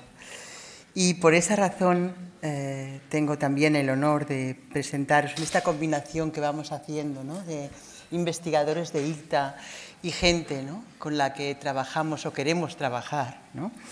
En esta combinación vamos a continuar eh, con la moderación de una mesa que la va a realizar Jason Hickel, que es un investigador del ICTA, pero que es profesor de la UAB, porque como sabéis muy bien, nuestros investigadores también... Ara estic parlant castellà? Estic parlant castellà? No, els nostres professors també estan vinculats a departaments de la UAB i en aquest cas al Departament d'Antropologia Social. En aquest cas eh, veieu que estem en una tanda de gent d'antropologia. Eh, Permeteu-me que parli un momentet del Jason Hickel. M'han donat tres pàgines de la seva, del seu CV, del seu currículum abans, abans de venir aquí i per sort el Jordi Honi, que és un dels, de les persones que ha treballat més del, de del, del grup organitzador, del comitè organitzador d'aquests eh, actes que us estem mostrant, me l'ha resumit en mitja pàgina, eh? és a dir, que, que serà més curtet. Llavors el Jason Hickel, que deu estar per aquí, Jason, estàs aquí i la foto està allà. Vale, va, super. Llavors, el Jason, let's go to English, is an econ economic anthropologist. This does exist, even, even in Wikipedia. Even in Wikipedia, if you put econo economic anthropologist, it says what, what, it should be said, okay? He's a professor of ICTA and affiliated with the Department of Anthropology at, in our university, the Autonomous University of Barcelona. And Jason research focuses on global political economy, inequality, and ecological economics, which are the subjects of, the, of, of two of the most recent books written by, by him. Maybe you know uh, any of those. One of them is The Divide, a brief guide of global inequality and its solution, its solutions, many solutions. And the, the second one, and sometimes uh, more well known, is uh, the name, and the title is Less is More How Degrowth Will, self, will Save the World. And this one was listed by finan the Financial Times and the New uh, Scientist as the book of the year. Book of the year. And just to add um, uh, that, that he writes regularly for The Guardian and foreign policy, contributes to a number of other outline, online outlets, including Al Jazeera, Fast Company, Prospect, Jacobin, Le Monde, Le Monde Diplomatique, and New Internationalist, among many others. And I am very impressed when I have, maybe I should have known before, but I didn't know until today, is that Jason has received a number of teaching awards. So he's also a very good teacher like the National Award for Excellence in Teaching Anthropology, and he has received many research grants from Fulbright and the National Science Foundation, and he presently holds something that is very impressive for us in ICTA and for the Autonomous University too, rector, is a synergy grant, a synergy grant for research on post-growth transition. So thank you, Professor Hickel, for being here today. It was your obligation, you know, but thank you for moderating the panel. Okay?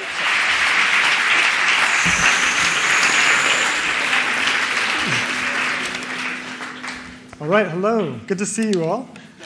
I'm so glad that Isabel used English for the introduction, otherwise, she could have mocked me liberally and I would never know. Uh, but, but, uh, but here we are. Um, so thank you, Isabel, for the, for the very kind introduction, and thank you all for, for joining us uh, uh, for this exciting event today. Um, in a few minutes, I'm going to invite up to the stage five panelists who will join me in discussing some of the tensions that surround uh, the relationship between economic growth and climate mitigation, and the possibility of a post-growth transition. This is an incredibly urgent and, and timely question, and my job here is, uh, is to basically set the stage for a couple of minutes uh, by giving a little bit of context. Um, so, first, let's acknowledge an important fact.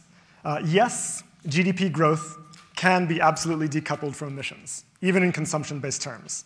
This has been happening in some countries for more than a decade now. Uh, although I will note briefly that in Spain, consumption emissions have not declined at all in the past 10 years which is to me uh, obscene uh, and needs urgently to be addressed. We'll talk about that shortly. Um, but we also know that it's not good enough to achieve just any rate of emissions reductions. What matters is speed.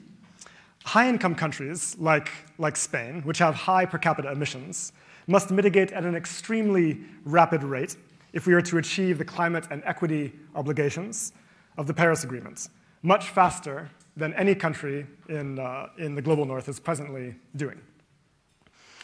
Now, the problem is that it appears to be empirically unfeasible to achieve sufficiently rapid mitigation like this if we continue to pursue aggregate economic growth as usual. In other words, ever increasing levels of industrial production uh, and consumption. And the reason is because, it's quite simple, because more growth means more energy demand than would otherwise be the case, which makes rapid decarbonization harder to achieve. It means we have to build out more windmills and more solar panels and more battery plants than would otherwise be needed, which of course takes considerable time and effort and has its own social and ecological costs. You can't just do this at any desired speed. So if we want to be serious about achieving the Paris Agreement objectives, then high income countries need to reduce total energy use. Now, some of this can be achieved through efficiency improvements. Uh, yes, and this is critically important for us to pursue, and we need uh, more public invest investment in technological change and efficiency improvements. But scientists also recognize the need to selectively downscale uh, de or degrow certain destructive and socially less necessary forms of production. Things like fossil fuels, SUVs, mansions, cruise ships, fast fashion, advertising, uh, the practice of planned obsolescence. There are huge chunks of production in our economy that are highly energy intensive, uh, mostly exist to serve the interests of capital accumulation or elite consumption, are irrelevant to human well being, and should clearly not be pursued in the middle of an, of, a, of an ecological and climate emergency. A more rational approach is to focus production on what we actually know is required in order to achieve social and ecological goals. Things like affordable housing, high quality public services for all, clean energy, public transit, regenerative farming, and so on. Researchers here at ICTA have argued that this can be accomplished with straightforward policies for public finance and public works. A public job guarantee can be established that would prevent any unemployment while also empowering people to participate in necessary social and ecological objectives. An approach like this could enable rapid decarbonization while also improving social outcomes at the same time. It is possible to achieve, it is physically possible to achieve, uh, and these policies happen also to be uh, highly popular. You can have a, a successful political movement uh, rooted in these principles. But it also requires challenging and overcoming the entrenched interests of the fossil fuel companies and the capitalist class that presently controls production in our economy. Um, and in fact, I, I was sort of I was, I was, reflecting earlier actually on, on how simple like we, we, have these complicated conferences and we say complicated things, but when it comes down to it, uh, I mean, climate change is, is ultimately being driven by our system of production, uh, which is controlled by capital, and capital arranges production in such a way as to maximize profits. Um, it's not difficult for us to solve. We know exactly what needs to be done, right? We know what kinds of things we shouldn't produce and what kinds of things we should produce more of. But we don't have democratic control over our productive capacities, right? We say we live in a democracy, but we fundamentally do not. Uh, and so even if we know what needs to be done, and even if we can agree on it, uh, we don't have that kind of power. Um, so these are some of the tensions and possibilities that uh, we want to explore today with, uh, with our guests. Um, as you can imagine, I have, I have, have more to say, um, but my job is to be a moderator here. I, I, actually, I have, I have five pages of, of, of dense manifesto on anti-imperialist degrowth, uh, which will solve all our problems, but, but I'm, not going to, I'm not going to read it. Um, instead, I'm going to invite my colleagues to the stage, if you wouldn't mind joining me now. And I'll, I'll briefly introduce them uh, as, we, as we get going here. Thank you all. So, we're honored to have several brilliant guests with us today, uh, and we're thrilled they can join us. Um, I'll begin by introducing Rosa Martinez. Uh, Rosa is the Secretary of State for Social Rights in the current Spanish government. Uh, she has served as an elected representative of the Equo party in coalition with Podemos and later with uh, Unidos Podemos. She previously worked for the European Climate Foundation and has significant experience working on climate change and climate policy. Uh, Comrade Alberto Garzón. I imagine that many of you know Alberto. He's the former Minister of Consumer Affairs in the Spanish government. Uh, Alberto is a trained economist and worked as a university researcher before becoming a politician. Um, he's a member of the Communist Party and also of, uh, of United Left, and he's served as a spokesperson on economic affairs for several years, for several years and in several capacities, and he's become well known for his writings on, on eco-socialism and post-growth transition, including in the journal Monthly Review, um, which made him famous with uh, English-speaking uh, eco-socialists. Um, Wolfgang Cramer. Wolfgang is an uh, environmental geographer and global ecologist. He was previously a professor at Potsdam Institute for Climate Impact Research um, at Potsdam University in Germany. And he's presently the, uh, the research director at the Mediterranean Institute for Biodiversity and Ecology. He was uh, one of the lead authors of the sixth assessment reports of the IPCC, and he's also, uh, we are fortunate to say, a member of ICTA's senior advisory board. Jeroen uh, van den Bergh. Jeroen is an environmental economist and an ICREA professor at ICTA. Uh, he's well known for his work on the relationship between environment and growth, and has also made significant contributions to research on climate policy. He served for 10 years as editor in chief of the journal Environmental Innovation and Societal Transformations. And then finally, Victoria, Victoria Reyes Garcia. Um, Victoria is an anthropologist, a professor at ICTA as well, um, and a member of the US National Academy of Sciences.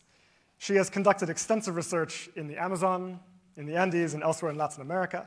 She studies indigenous uh, and local knowledge systems in relation to the natural environment, and also researches the impacts of climate change on local communities uh, around the world. Okay.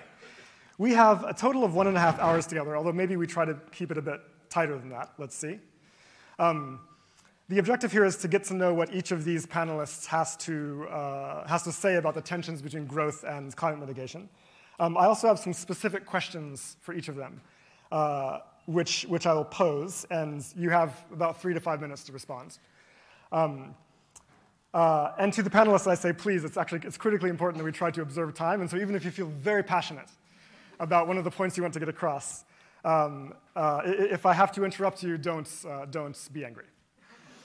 Um, so, and then after this, uh, after this, we'll have uh, a bit of time for debate and discussion among the panelists. And then finally, we'll take some questions uh, from the audience and, uh, and close and let the real excitements begin. Um, so, let me just take a seat over here. Feel free to welcome everybody.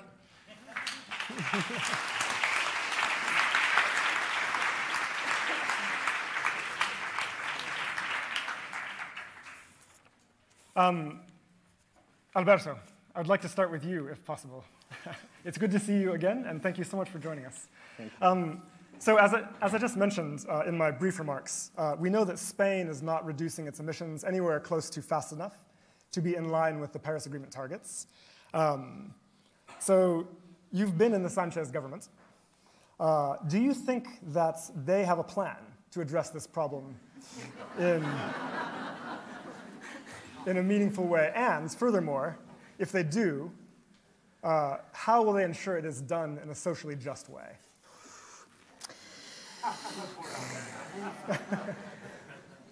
Bueno, buena, buenas tardes. Eh, voy a responder en español para intentar encajar esta, esta pregunta con, con mayor brevedad y comodidad. Muchas gracias a todos por la invitación y voy directo al grano porque es, es, es muy, muy complicado. Hay un plan. Yo diría que, la, basándose en la experiencia que yo he tenido, eh, hay una lógica científica en la que todos aquí estamos de acuerdo, que nos habla de límites planetarios, por ejemplo, por sintetizar. Y luego hay una lógica de un sistema económico basado en la maximización de ganancia eh, que entra en contradicción y que genera esas tensiones y existen planes elaborados desde la teoría para abordar esta contradicción. Creo que necesitamos mucha más investigación para conocer bien la complejidad de esta relación, pero no necesitamos más investigación para concluir que estamos ante una emergencia. Entonces existe un plan por parte de, los diferentes gobiernos, pero lo que hay es un problema de eh, implementación, porque está mediado esa relación contradictoria está mediada por personas con ideología que no comparten por ser generoso, eh, la, la idea de que existe una tensión entre ambas lógicas. Y esa, eso afecta al conjunto del Estado. El poder no es solo el gobierno, el Estado, desde los años 70 y este debate teórico entre Pulanzas, Althusser, etc., creo que podemos llegar a la conclusión de que el Estado no es una cosa, no es un actor unitario, no es algo que tú llegues y utilices como una máquina cualquiera. Para mí es la condensación de la correlación de fuerzas en cada momento histórico. ¿Y tiene múltiples dimensiones? En este país lo sabemos muy bien. La dimensión judicial, la dimensión de la fuerza del cuerpo de seguridad del Estado, la dimensión del gobierno y dentro del gobierno los diferentes espacios en los que se compartimenta el poder. ¿Qué quiere decir esto? Que puede haber un plan en una cabeza, en dos cabezas, en tres cabezas, pero hoy en día el Estado, no solo el español, está hegemonizado por la ideología que podríamos llamar neoliberal, basada, inspirada en la economía neoclásica, que no ve la contradicción de la manera que la vemos los que estamos aquí. Y por lo tanto, puedes tener un plan, puedes tener razón, pero la implementación es una cuestión de poder, es una cuestión de política, es una cuestión de generar alianzas para poner en marcha y abordar los diferentes problemas que los científicos entienden que eh, son claros, pero que no está tan fácil de trasladar a la realidad. Así es como de repente ves tensiones, y pongo un ejemplo por rebajar de la teoría a la práctica, eh, desde el ministerio en el que yo estaba, pusimos en marcha una campaña, esto es una exclusiva, eh, pusimos en marcha una campaña para el día del Black Friday decir que tu consumo puede salvar el planeta. Esa campaña no salió. Esa campaña no salió desde el propio seno del gobierno de coalición, que hemos visto a la vicepresidenta expresar cómo ahí hay un plan, hay una idea, hay unos principios, unos valores. Y a pesar de eso, hay unas resistencias internas entre determinadas capas funcionariales, determinadas dimensiones del Estado, que entendían que una lona que dijera tu consumo puede salvar el planeta iba a desincentivar el consumo y por lo tanto iba a desincentivar el crecimiento económico y por lo tanto la oposición política de Madrid, concretamente, que es la que gobierna, eh, eh, iba a atacar al gobierno central sobre la base de que queremos destruir la economía. Esa tensión es el reflejo de cómo el Estado, en mi opinión, está configurado, lo que nos da pistas de cómo intervenir. Perdón. no, that's perfect. Thank you so much. Um, You know, one of the things that I remember saying to you when we first met was, it's too bad that you're the Minister of, of Consumer Affairs when we, we need you to be the Minister of Production. Yes. Because, uh, because there's limits to what uh, discourse around, around, uh, around consumption reduction can achieve, when really what matters is who controls production and so on. Now, now you, you, have been an outspoken proponent of eco-socialism, um, which deals with that question, uh, control over production. Um, do you think that there's an, op an opportunity or possibility for eco-socialist transition in Spain? La respuesta es sí, porque si no, no tendría sentido mi vida. Porque. Eh.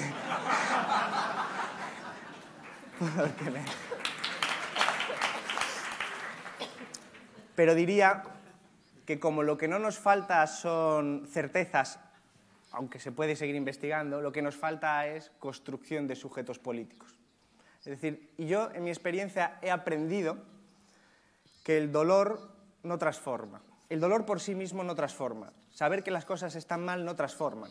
Igual que alguien que en estos años tan difíciles para, para España, con temas de desahucios de viviendas, por ejemplo, han implicado que una persona que fuera a ser desahuciada de su casa de repente no se convertía en revolucionaria antisistema. Lo primero es que sufría.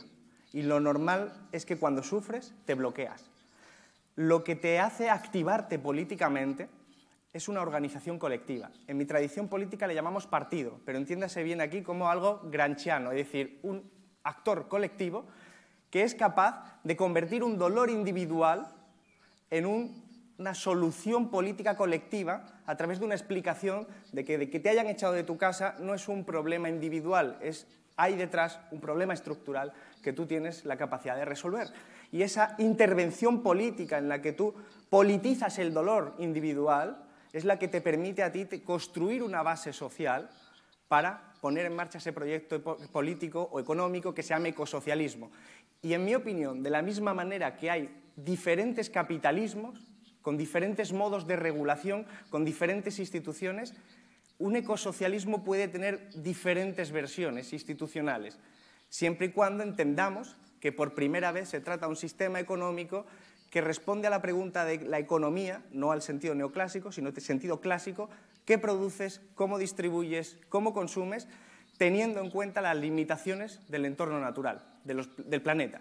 Y ese es un sistema económico que podemos convenir en llamar ecosocialismo y que después vamos a dibujar no desde la teoría, sino desde una práctica cotidiana que va a depender de las especificidades históricas, del territorio, de la región, del país del que estemos hablando. Y creo que estamos obligados a hacerlo, porque en la línea de la intervención de Yayo, de lo contrario, ese dolor, si no es politizado en clave de principios de la ilustración de democracia, va a ser politizado en la clave de la guerra contra los pobres, de una escalada contra los que están más abajo, que puede desembocar en ese crecimiento de las ultraderechas, de los fascismos de nuevo tipo, en clave ecológica, barreras de entrada a aquellas personas que huyen de las consecuencias del cambio climático, por ejemplo. Thank you so much. Yeah, no, I, I completely agree. Um, and this brings me to the next question I want to direct to Rosa, because uh, this does strike me as really the core political problem. Um, when it comes to, to, trying something like a post-growth transition or degrowth or, or even just scaling down the fossil fuel industry, to say nothing of other industries, right? Um, I mean, there, there's deep uh, opposition to this precisely because people's livelihoods are tied to wages and jobs in those industries. So you have unemployment, uh, which, which would result from this and make it effectively politically untenable. I mean, anything, any policy you take that is going to reduce employments and harm livelihoods there's going to be a, an immense political back, backlash, and for good reason, right? We should not accept such a situation where we're, producing misery. Um, now, now, one of the, the key principles that a lot of this research has focused on is the possibility of policies around universal public services and a public job guarantee, which would effectively avoid that kind of crisis um, and would be really essential to the possibility of a just transition. So, so Rosa, in your role given that social policy is your, is your focus. Mm -hmm. I would like to know whether you think that there's a possibility here in Spain for the implementation of policies like that. Um, pues sí. Bueno, primero, muchas buenas tardes. Eh, gracias por la invitación y aclarar que yo no vengo de ciencias ambientales ni de biología, lo cual eh, es de agradecer este mix de eh, disciplinas en, en el análisis. Eh, pues efectivamente, cuando hablamos de transición justa, yo creo que nos hemos centrado mucho en, en, el trabajo, en cómo esos empleos que se destruyen generamos otros empleos, siempre todo alrededor del trabajo remunerado y los empleos. Creo que falta eh, introducir la visión de los derechos sociales, de las políticas sociales y cómo en este cambio estructural que vamos hacia el con decrecimiento, con un crecimiento más lento, con una producción más ajustada a los límites, del planeta, tenemos que pensar cómo organizar las políticas sociales. Y en este sentido, los servicios públicos universales y gratuitos son fundamentales. ¿Por qué? Porque es la manera en la que se aseguran los derechos. Eh, la educación, la sanidad o los cuidados, solo con servicios públicos universales y gratuitos, aseguran esos derechos. ¿Y por qué es clave asegurar los derechos? Porque si no tienes los derechos asegurados es cuando se genera la desigualdad. Y ahora mismo la desigualdad creo que es una de las principales eh, barreras o obstáculos para, la implementación de las políticas de transición ecológica.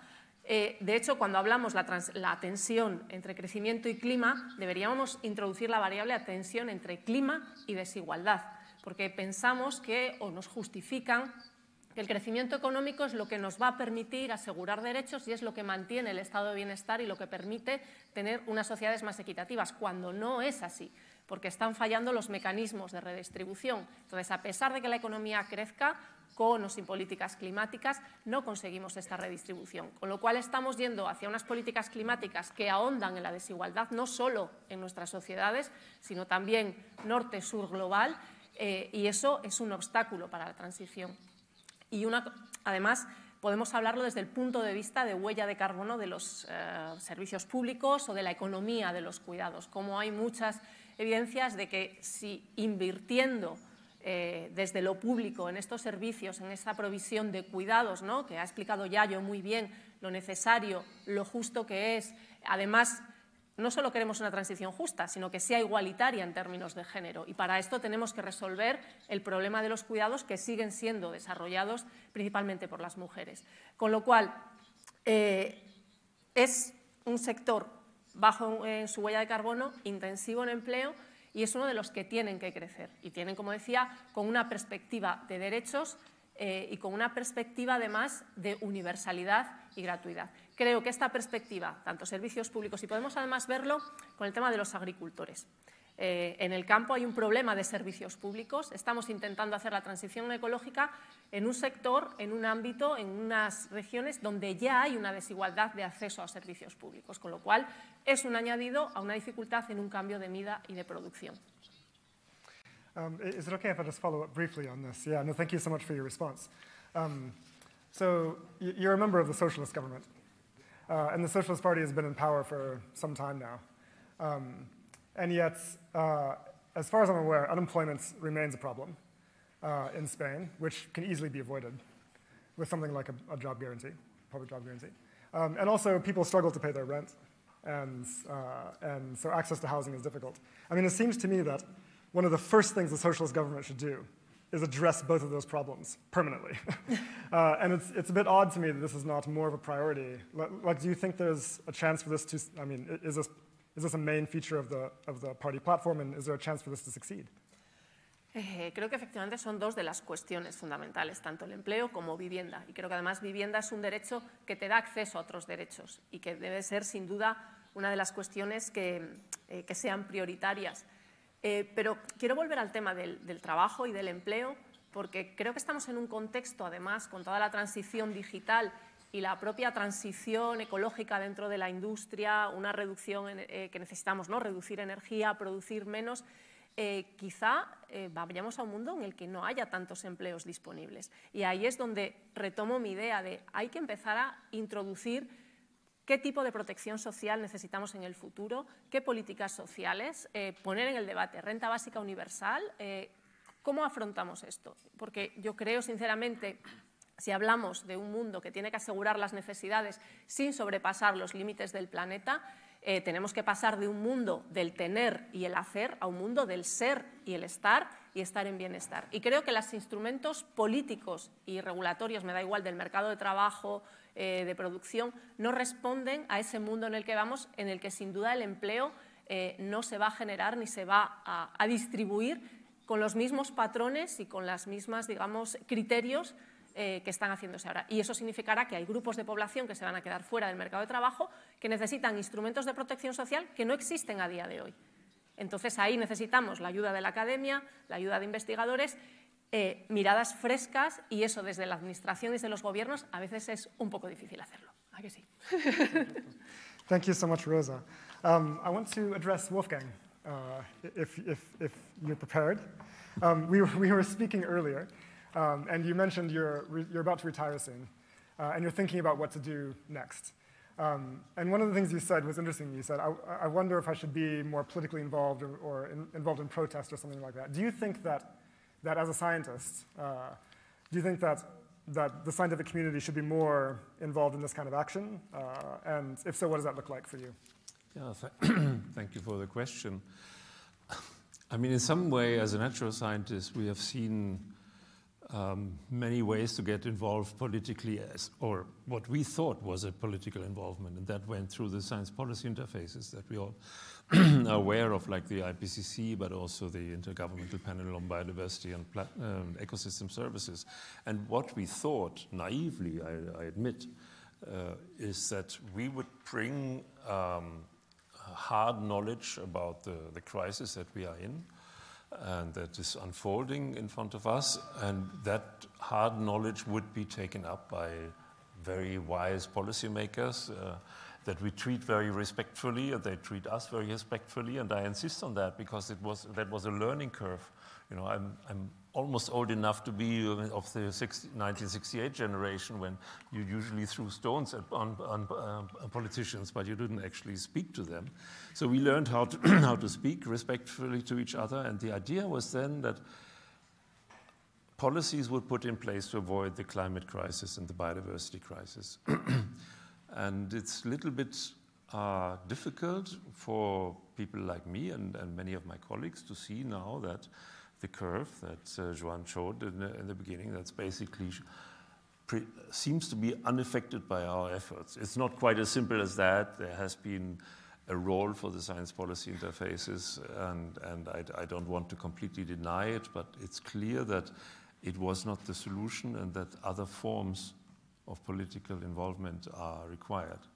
And I think many of us individually and as collective, as groups, we're looking for different forms. Um, some of us uh, say, well, we need to write more uh, articles in major newspapers. Some of us say we we need to uh, engage with, uh, with uh, climate activists in one way or the other by supporting them. And a few of us actually downright go to, to, to action, including uh, civil disobedience, in order to, to make our point. None of us is very well educated on whether we, what we are doing there is actually meaningful.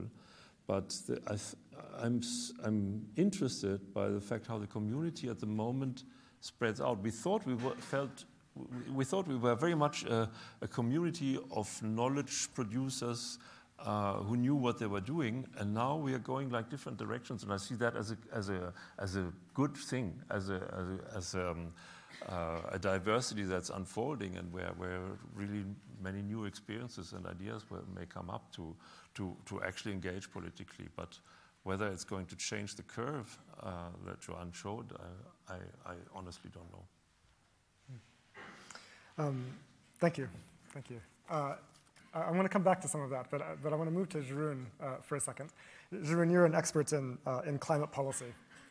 If you had the ear of the current Spanish government, what would you tell them to do? Well, let me first say that I, I, think it's easy to say the government should this, do this or that with a radical perspective, because I think the problem of Spain is, and of many countries, there is no clear majority of one type of thinking. Look how many parties need to support this government, and some of these parties may be classified as right wing or moderately right wing. So, some of the proposals that you had uh, for jobs and, and, and things will be very difficult, even. And, and for climate, I see that in the same way. I think climate versus growth is absolutely the problem of our time. And, and that debate will reinforce if we don't meet the targets. And I promise you, we're not going to meet the targets. I looked at some statistics for Spain, and, and for instance, I saw that uh, energy efficiency at the national level of Spain is fluctuating. It's not strictly going down. And, and one reason might be rebound. The fact that, okay, you subsidize energy uh, conservation in many places, but if you do that, then people get uh, like a subsidy and they, they at the end they will save money on their energy bill and they will spend that somewhere. Maybe they'll take a, a trip by plane to Barcelona from another part of Spain. Mm-hmm. and, so, and, so, I'm very much concerned about the systemic effects. You know that. that. That's one thing that is, I think, completely neglected because it's complex. And I don't have simple answers to that, but I think also the government should think more about indirect, undesirable effect of good, good well-intended policies. Um, so, for instance, with regard to energy efficiency, I think there should be no standards or subsidies without higher prices because it's going to leak away. And there's a lot of evidence for that. And even I think the evidence is probably underestimating what is happening because you don't see what's happening. For instance, let me give one example. The European Union had, um, as a legislation, the phase out of traditional light bulbs with a good intention. There's no evidence that that has reduced actually energy use much. Uh, if you uh, live uh, in, in a cold country, what will happen is that your heating system with a thermostat fixed at a certain temperature will continue until the less energy that heats the room also from lamps will be compensated. It's very difficult to prove that, but you know that will happen. So there is a rebound all around us, and I think uh, that's, that's a worrisome thing. More, more, directly to your question about what, what Spain could do, um, I looked also at the data and I saw that uh, ener energy, renewable energy is developing well in Spain. Although I'm surprised that it's mostly going to wind and not so much to solar. I think wind is three times uh, solar in terms of power, and that is quite stable over time, which surprises me given that you have so much solar influx here that you don't know how to how to benefit more from that. Also because uh, many experts suggest that the future is solar because solar is not any moving particles. There's a lot of advantages purely technically, physically uh, for solar compared to uh, wind. Another data that I looked at was that um, emissions from uh, transport don't go down so much as from electricity. And if you look in cities in Spain, you see always a lot of cars. I come from the north, from Amsterdam. In Amsterdam, there's very little room for cars. Now, it's a different city. I know it's flat, it's not hot, so I, I accept completely how it developed here, but I don't see that we discourage car ownership very much. And I think if people buy a car, young people do that a lot in Spain. Many people live with their parents, they have their first salary. What do you spend it on? If your parents take care of all the rest, a car. And then you're locked in to a certain pattern of behavior. And it's, it's very difficult to move away from that. You see that it, at this university, because this university serves students from the countryside more than from the city, because we're outside Barcelona. And a lot of students come by car. Maybe not their own car, sometimes yes, sometimes the car of the, the parents, but uh, it, it locks people into a certain behavior. And to avoid that, but even in Barcelona city, I bet there are a lot of young people who just drive around in Barcelona with their car when the public service, uh, transport is perfect. So I think that, that's difficult policies, like you mentioned too. I think you should have legislation that limits car ownership if you don't have a family, for instance. I know it's difficult, but, but go in that direction. Talk about it at least. M make it a debate so that people are aware of it. And a final concrete uh, suggestion for policy um, I think we should transform all uh, energy and fuel taxes that are already there in Spain, and there's a lot, and in any country there are many of those. We should transform them to genuine carbon taxes, because then you have the best effective instrument to reduce emissions. Now, for instance, diesel, gasoline, gas, have prices that are determined by many factors, and, and it's basically historically determined how the, the taxes are there. But we should base these taxes on the carbon content of the fuels more to give the right incentive. Um, and I think that that's, that's just such an easy opportunity. It will still give all the revenue, so not much will change. People don't perceive it so strongly, but it will make differences in, in investments, which car will I buy, uh, what is the cost of, of the gasoline, the fair cost, etc., etc. I'll leave it here for the moment. Great. Thank you Thanks. so much, Jeroen. Um, murmurs in the crowd. Are you pro limits on car ownership or against? It's difficult to tell. Um, Victoria, um, thank you for joining us. Uh, so, in debates about growth and, uh, and climate, one of the claims that economists will often make is that, uh, is that perpetual economic growth is necessary because it's very closely linked to social outcomes and uh, subjective well-being and happiness and so on. And so if you want to have a happy society, then sorry, the only option you have is perpetual GDP growth.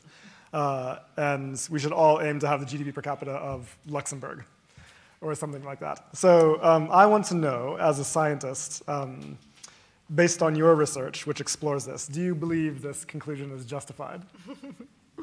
yeah, thanks, thanks for this question. Well, the economics of happiness is part of the capitalist narrative, right? You need more, you need more material to grow, right? And there is a lot of research in economics that shows that there is a relationship between uh, more income and, and happiness. But this same research says, okay, but only up, up to certain level of income. Once you reach the six uh, digit uh, numbers, then you, your happiness doesn't grow much with more money.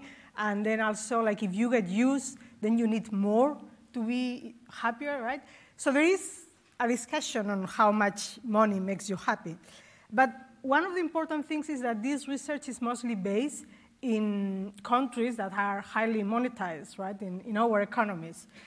So in our research, we have actually gone to societies that don't live, I mean, it's not that they live without money, there is money around, but they don't depend on the money eh, as we do to live, right? So they can also, they have subsistence societies. I'm talking about indigenous people, local communities who mostly live without the need to material, uh, economize everything, like use money for everything. And in these societies, we have asked the same questions about happiness and how quality of life. And surprisingly, in these societies, and this is even though many of these societies are highly marginalized, they are high, highly, I mean, in the margins of societies, they, have, they suffer oppression, they, they are on the limits of all these extractive pressures.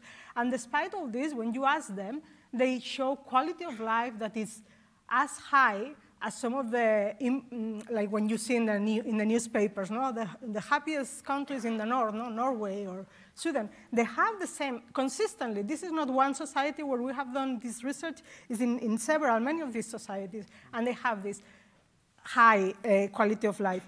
And what does this mean? It means that actually there is greater flexibility on what is quality of life, on what is a good life. How can we live in this planet and still have meaningful life without material growth? So when you ask them what are the things that make them happy, it's many of the things that we have been mentioning here, social support, trust, freedom, not individual freedom, but collective freedom, family relations, social relations, being in touch with nature, being in touch with the spiritual beings, all these things are central part of the subjective well-being of many people in the world, and they can also be part of the subjective well-being of, of our own society. So, so maybe policies can, rather than enforce this, this material growth that you, you keep needing more and more, uh, should be uh, directed to invest in some of these things, right? And that, that's, yeah. I think that answers that get to your questions. Yeah, yeah no, it's, it's just, okay, just keep going. um, no, it's interesting. So, so the, the, the, paper that, that Victoria published recently is quite striking in illustrating what she's just described. Um, and, and it makes me wonder if uh, perhaps one of the key elements here is that uh, subjective well-being, your sense of happiness, is secured uh, when you have economic security, effectively, when you don't have to worry about uh, whether you're going to fall through the cracks and uh, be immiserated. Um, and, and that's something that many uh, small-scale societies do have, which I think your research has pointed out, and which, despite the extraordinary productive forces of wealthy economies like Spain, we don't have, right? Uh, I mean, economic insecurity is widespread uh, despite the fact that we're an incredibly wealthy country uh, by global standards. Um, and so it makes you wonder if, if, if policies like universal public services or a public job guarantee or a universal care income or whatever it might be that would, that would put a floor on economic insecurity, that would abolish that, uh, could um, allow people to secure the high levels of, uh, of um, subjective well-being that you describe. What do you think? Yeah, I mean, policies eh, based on relationships, right? Relationality, strengthening relationships be between, between people or between the people and the, and the material. I mean, of course, you need to guarantee the material life of, of people. So I think there is uh, a high potential for these policies, but these policies based not in the individual, in the individual, individual income on the individual, but on the social, on the relation, on how you actually construct, not thinking on the, on the individual freedom, subsistence, but on the social, right? On the social, on the, it, so, so this, this idea of interrelationship, of inter, or relational values, relational economies, relational, uh, yeah. Jeroen, I wanted to, to follow up on one point you made, if I may, um, which is the bit about limiting car ownership, which, which I agree with. Uh, but it does strike me that, that this kind of policy is only ever really politically successful if you can actively provide an alternative for people. And so uh, in a situation where people don't have sufficient public transit options, limiting car ownership is not going to go over well, right? Uh, and so, um, so, so, so what is the strategy? I mean, for like, clearly there's an incredible amount of additional production we have to be doing in our economies, right? There's a lot of production that capital that's, that's socially and ecologically necessary like public transit or renewable energy, that capital does not do because it's not profitable for capital to do it. Uh, so how are we going to do that production? um, like, like market mechanisms don't help us with that. And so I'm curious to know what you would say as a, as a policy advisor. Uh, well, regarding your like first that. point, uh, I think it's a myth to think that providing more public transport will get people out of cars. If you look at the evidence, uh, for many cities, you reach with public transport like 5 at to at most 10% of car users. There are many car users who, have never been in public transport and have a negative idea about it. And, and just telling them there is more public transport, there are more trains, there's more space, won't make a bit of difference. So that's why I think we need regulatory policies.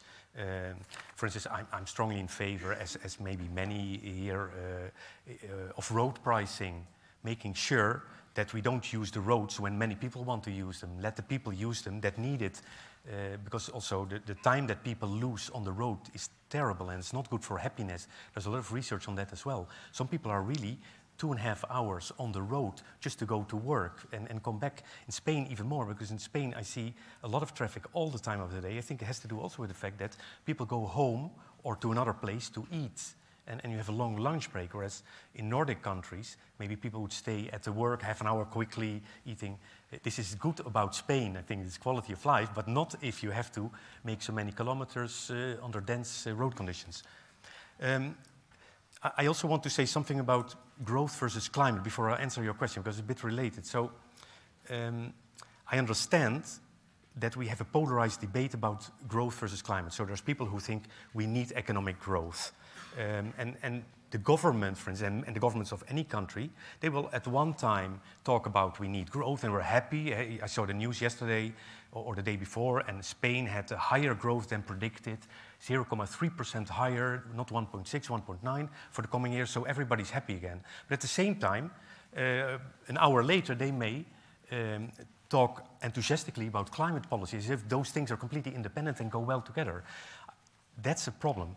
So, but to go to the other end and say very anti-growth statements is, is, makes you feel good maybe. You think that that's the right way to go about and maybe there's a lot of people maybe you, a lot of your friends think like that, but you, I think it just polarizes the debate that we need. And as this government shows, and it's in all the countries nowadays, you need coalition governments. You need to bridge many different opinions. So you need concepts and ideas that can bring people together rather than can divide people. And so my, uh, my, you know, my idea in this regard is to be more neutral an agrowth perspective, mean, meaning you're indifferent about growth. You're not against it, you're not in favor of it. So I think that can reduce polarization, create more support. But it's not just because of that. I think it's scientifically also the best approach because what is the indicator of GDP? And then I go back to your discussion. It is PIB in Spain. It, it is the GDP. And we know for rich countries that it's not a good indicator of well being or, or of progress.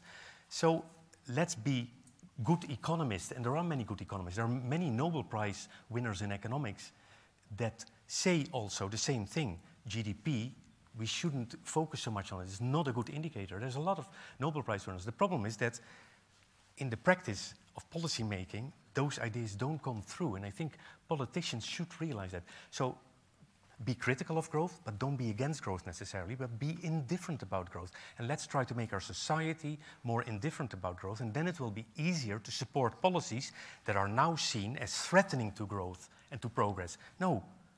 To, to give one more uh, piece of information. Yes. No. Yeah. Yeah. Just of course. Of course. Yeah. I'm like that. I continue. Sorry. Sorry, John. um, if I may, just briefly interject. Um, uh, yeah. I mean, um, I don't think anyone in the degrowth community would really say that we, we need politicians to be up at the podium in front of the masses calling for degrowth, right? But it's clearly an important analytical frame for us to think about what the problem is that we face, confront the assumptions we have about, about, uh, about the economy, and, uh, and rethink what the economy could look like. Um, I, I do think, oh, a supporter. I do think I do think that some of the policies that degrowth advocates advance, like a public job guarantee or universal public services, are extremely popular, uh, um, right? Like wherever they've been polled in Europe, they get over 80% support. And so you talk about political divides. There's no way people are going to support these ideas. Is, I don't think this is true. Um, I, I think that what people want actually is the kind of economic security this kind of approach does provide. And I think that a popular political program could be built around that. But uh, before you respond, I'd love to hear what, uh, what um, Alberto or Rosa uh, think about this, given your own experience in politics. And then after this, um, we'll take some questions from, uh, from the audience. Efectivamente. eh, hay, el marco del crecimiento ya no solo está en los gobiernos o en las empresas, sino que está en, el periodismo, en la opinión pública, con lo cual es difícil de romper. Em, creo además que desde el gobierno lo que es difícil muchas veces es la coherencia de las distintas políticas, porque un gobierno no es unitario. Hay en este caso 20 ministerios y cada uno eh, tiene su visión y tiene lo que es bueno para su departamento, porque al final el ministro o ministra es rinde cuentas de su actividad en su sector y eso también cuenta. Pero creo que si vamos a, una manera distinta de hacer las cosas, y pongo por ejemplo mi caso, eh, el modelo de cuidados de larga duración que estamos proponiendo, más centrado en la persona, más basado en la comunidad, pasamos de macro residencias a entornos más pequeños, eh, comunitarios. Eso ya es un cambio de mentalidad que tiene mucho que ver con este marco del decrecimiento, de que no todo sea a lo grande, eh, fuera de la ciudad, sino y enlazando con otras políticas relacionadas con la transición ecológica, como puede ser otro tipo de urbanismo. Pero hay una cuestión y que a veces eh, creo que es importante resaltar dos cuestiones. Una, que vivimos en una sociedad patriarcal y otra, la individualidad que decía Yayo Herrero. Y vuelvo al tema del transporte porque a mí me parece paradigmático y me parece una de las grandes dificultades para tomar decisiones políticas. Una, todas las decisiones de sacar los coches de las calles tienen una frontal oposición y tienen mucho que ver con todo lo que le cayó a Alberto la legislatura pasada con el tema de la carne. Coches y carne son dos símbolos de la masculinidad en nuestras sociedades occidentales. Aquí pasa algo.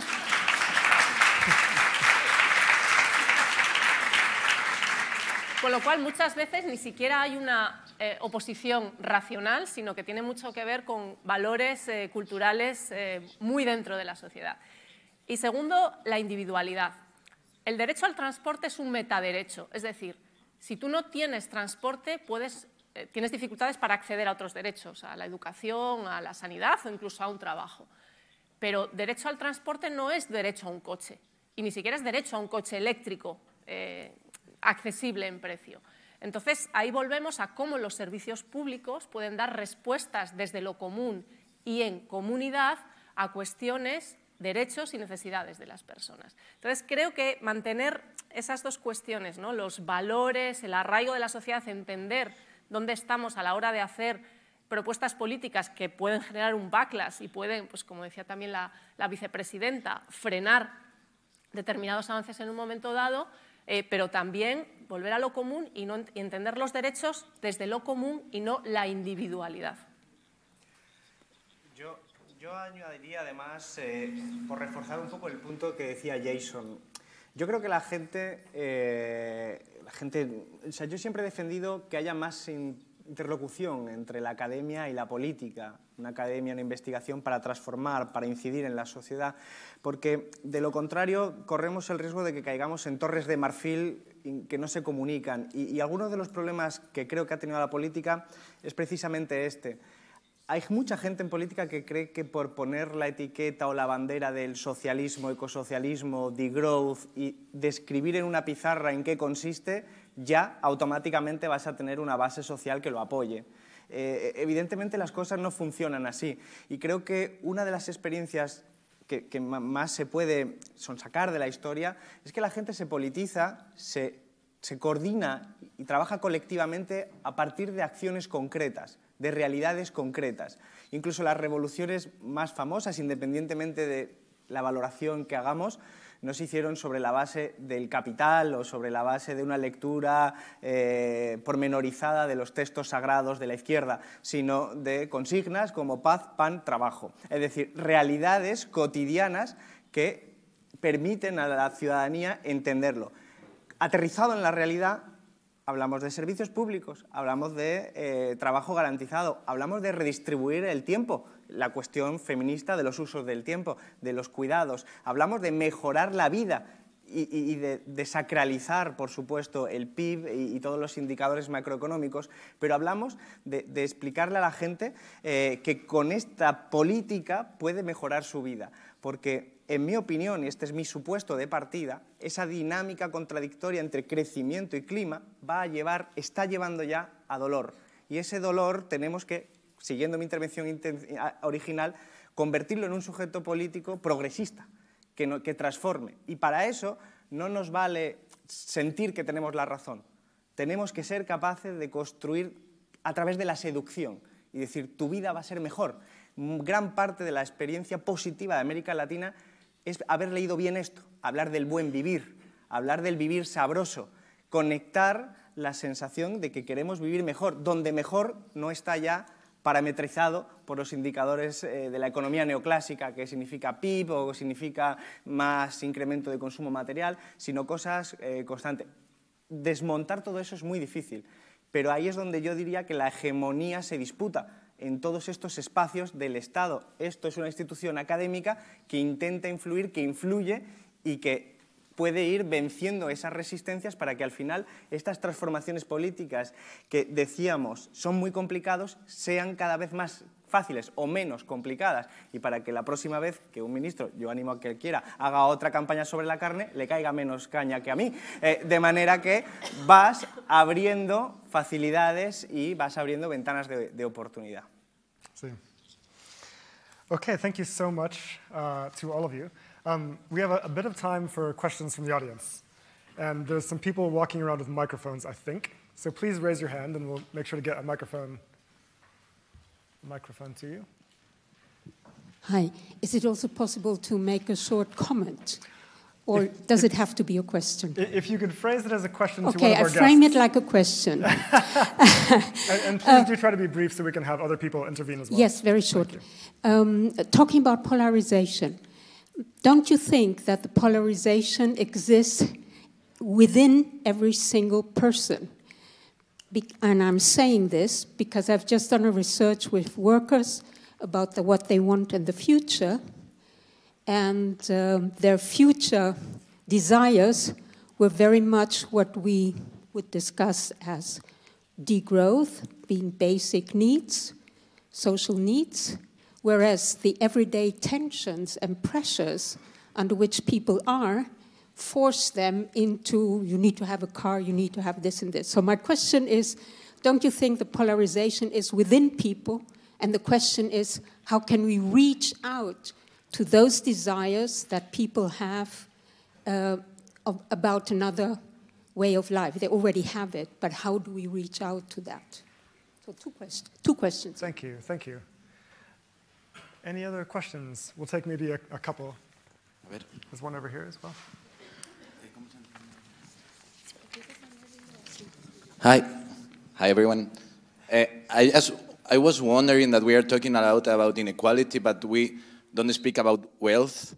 I was wondering if degrowth is only a theory to avoid polarization or if degrowth can have its own enemies in a way. I think antagonism is being avoided rhetorically in a, in a moment when maybe antagonism is necessary. We have, we have a little fear of antagonism, and we have someone like Milei uh, uh, screaming, putos zurdos hijos de puta. I mean, the right wing is the bravest right wing we have seen in decades and we are the softest left wing of the history of Europe. So, formulated as a question, does degrowth does degrowth has enemies or we must love everyone? Okay, so this is definitely the first time that I've ever heard someone say that degrowth avoids antagonism. because usually it's exactly the opposite. But uh, uh, this is a good question, and we'll address it. Can I take one more? I, I saw a hand over here, uh, I think. Yeah, thanks. Uh, my question is that um, in times of climate change and other very complex issues that we have nowadays, what is the role of false narratives in shaping our policies? What is the role of disinformation in the processes of decision making? Thank you. Thank you. Um, and there was one more, and then, and then we'll, yeah? So you're, very eager, which is great. Thank you. It's a short one, and actually for uh, Victoria. Um, I am wondering if it is only my impression, or you think, because of your career, that the literature of well-being um, in the English world, so as to say, has moved to this uh, relato capitalista, as you were saying, no, these indexes of happiness, how we measure happiness, what is the most happy country, whatever. Whereas the Spanish one, at least the Latin American one, has gone to a more philosophical side, not to mention well-being, as Alberto was saying, uh, of more like the differences between ser and estar, and how can we, this is just your impression. Thank you. Thank you. Okay, uh, so a specific question for Victoria, um, and uh, a question about polarization within, um, a question about does the left need to be more antagonistic and have clear uh, clear boundaries of antagonism. Um, and then a question about disinformation. Uh, is anyone uh, desperate to jump in? We'll, we'll, start with you, Victoria, while the rest of you think about. No? Sure.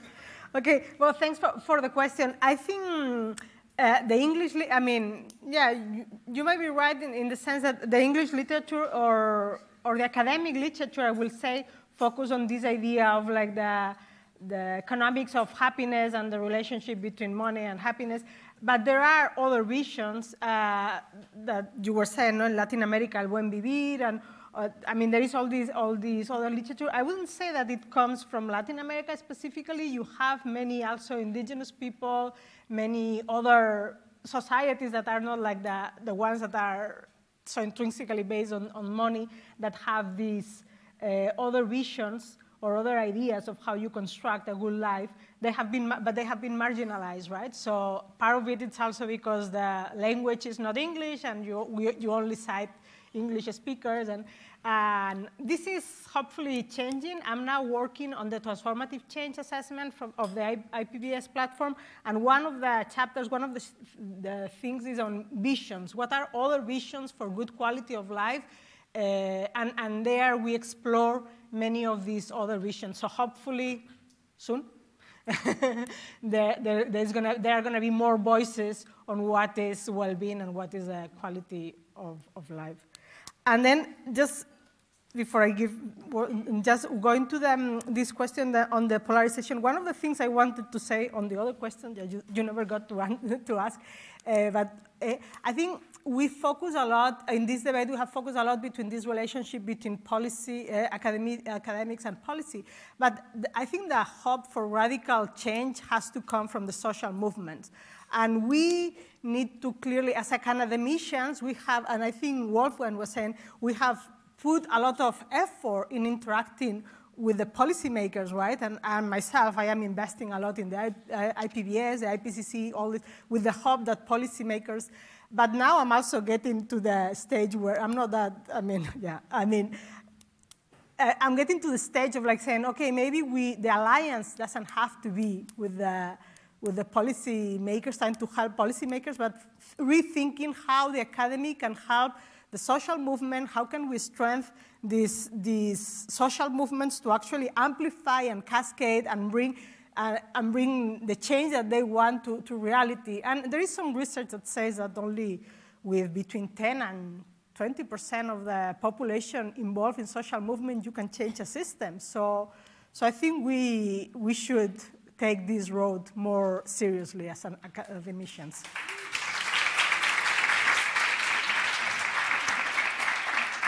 Thank you. Thank you so much, Victoria. Um, I want to jump on that and also see if uh, we can bring the conversation um, to, to advance this point a little bit further. Um, because it seems to me that uh, if the climate movement has been defined by anything, it's been defined by big protests.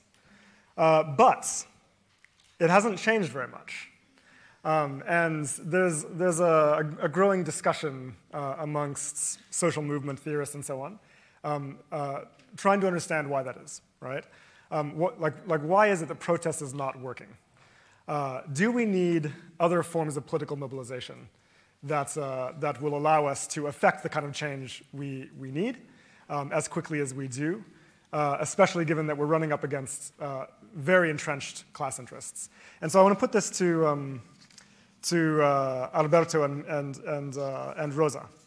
Um, if, if, I mean, protest, we welcome it, of course, but is, do you think protest is enough? And, and how do politics need to transform uh, in, order to, um, in order to achieve, uh, like political movements need to transform in order to achieve the objectives we require? Uf. Eh, bueno, es cierto que en el movimiento climático ha habido mucho debate sobre las protestas, el, tipo de protestas y si contribuían o no a generar una opinión pública favorable. Eh, el debate está abierto, creo que las protestas son necesarias, creo que todo lo que venga además de gente con voluntad de transformar y de denunciar, creo que hay que aceptarlo y que cada uno tiene su estrategia, su táctica y contribuye. A partir de ahí, eh, está claro que los gobiernos necesitan presión eh, pública y puede ser a través de protestas, pero hay otras muchas maneras de hacer presión y los movimientos sociales tienen una parte de protesta, pero tienen también una parte eh, de concienciación, de generar redes, de generar experiencias piloto, de incidencia en las instituciones y todo eso no es una cosa o la otra, sino que necesitamos todo. Y desde luego la manera de avanzar los gobiernos y las medidas más ambiciosas y los cambios más radicales han venido cuando hay una presión pública importante. Y enlazo con la pregunta de la polarización, porque tiene también que ver con lo que decía eh, Jerome, de lo difícil que es poner de acuerdo a distintas eh, visiones. La polarización es una cuestión de identidad. Hay alguien que traza una línea y tú te pones a un lado o a otro. Es un ellos contra nosotros. En términos climáticos, las políticas climáticas no polarizan eh, por sí mismas porque la mayoría de la gente ahí fuera no tiene una opinión clara si necesitamos un millón de coches eléctricos o dos millones de coches eléctricos, o si eh, lo que tengo que hacer es eh, más eficiencia o menos eficiencia. Hay poca cultura política para valorar las propuestas políticas. Pero si yo, mi persona de referencia, líder de opinión, sea mediático, o sea un líder, o sea mi partido de toda la vida, dice que eso está mal, yo me voy a situar en este lado. O sea, ni siquiera es una cuestión racional o la polarización está dentro, sino que yo elijo en qué campo, que ni siquiera lo he dividido yo, me han dibujado el campo, y a partir de ahí los actores, los líderes de cada campo deciden lo que tiene que pensar esas personas, porque a veces pensamos que la gente valora racionalmente las propuestas políticas y la gente lo que hace es fiarse de la gente con la que se identifica. Entonces, es más complejo que todo esto, pero sí, para mí la polarización es una cuestión de identidad. Y ahora mismo, más que el clima, polariza mucho más el feminismo y los derechos de las mujeres.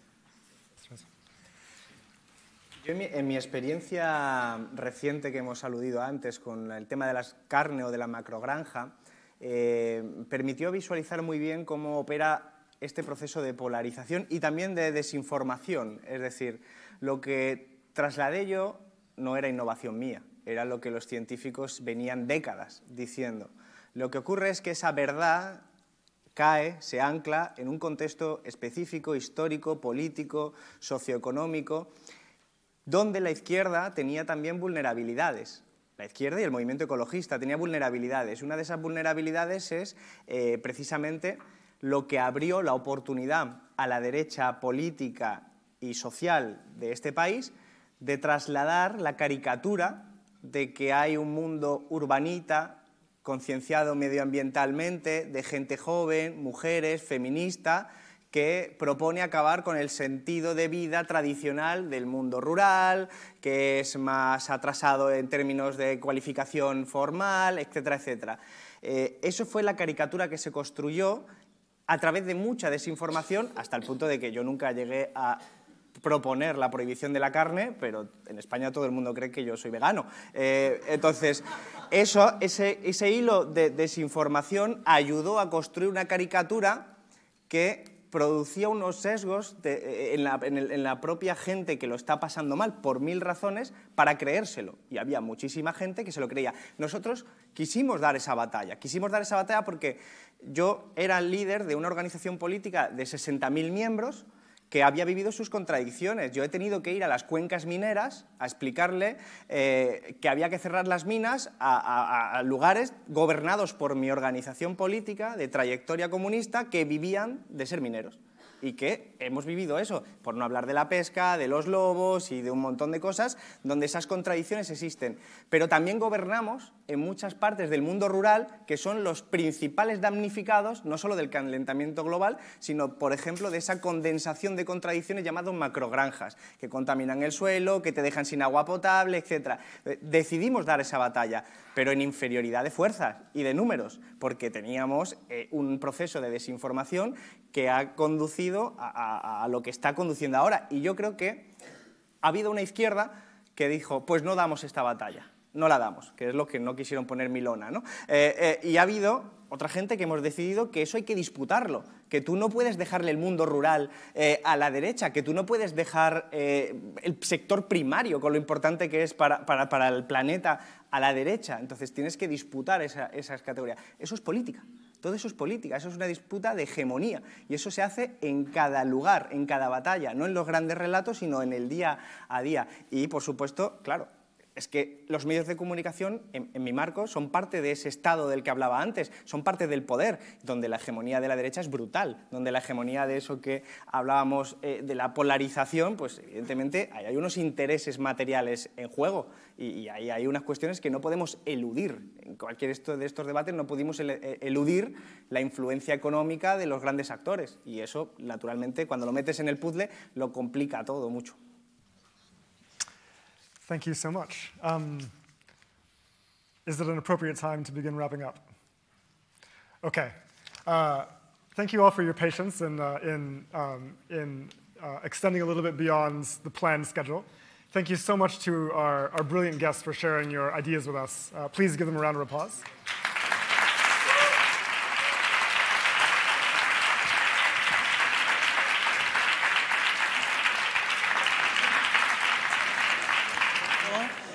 Me pide el comité organizador, va, unas palabras en castellano. Eh, me pide el comité organizador que, recuerde unas cuantas cosas. Antes de recordarlas, mm, gracias a todos de nuevo, porque es un privilegio ¿no? dedicar unas horas de nuestra vida, como decía al principio, a aprender más y con gente como la que hemos tenido. ¿no? La información que os facilito es la siguiente. Mañana continuamos a las 9 de la mañana. ¿eh? Y tenemos todavía un día y medio más. El día de, cierre, que es el viernes, a las 6 de la tarde pasan cosas interesantes. Lo digo para, que, para tentaros, para tentaros. Siguiente, siguiente cuestión. Me dicen que tenemos una copa de cava. ¿Ah? Una copa de cava, no sé si acompañada o no, pero copa de cava. Vale. Me comentan también, me comentan también que las personas que pensáis ir al cine Maldá, que estaba prevista esta película para las 8 inicialmente, eh, empezará un poquito más tarde, a las 8 y cuarto o así, para que podáis, que podáis llegar. Y un aplauso fuerte para, a ver si me he apuntado el nombre bien, Javier Rollo, porque habéis visto este artista. ¡Uh! Este artista que nos iba haciendo un milagro, un milagro cotidiano.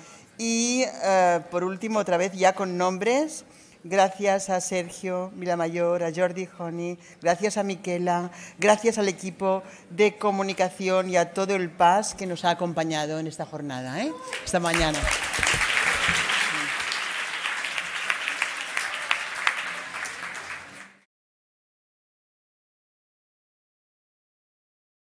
Moltes gràcies per estar encara aquí, perquè els divendres, jo ara estava dient a companys, els divendres finals d'un congrés tothom s'escapa, no? I, I estic veient que esteu molts, molts de vosaltres aquí i el meu agraïment perquè estigueu ara, que és divendres a la tarda, i també perquè hagueu estat tots tot aquestes, aquests dos, tres dies que, que hem compartit.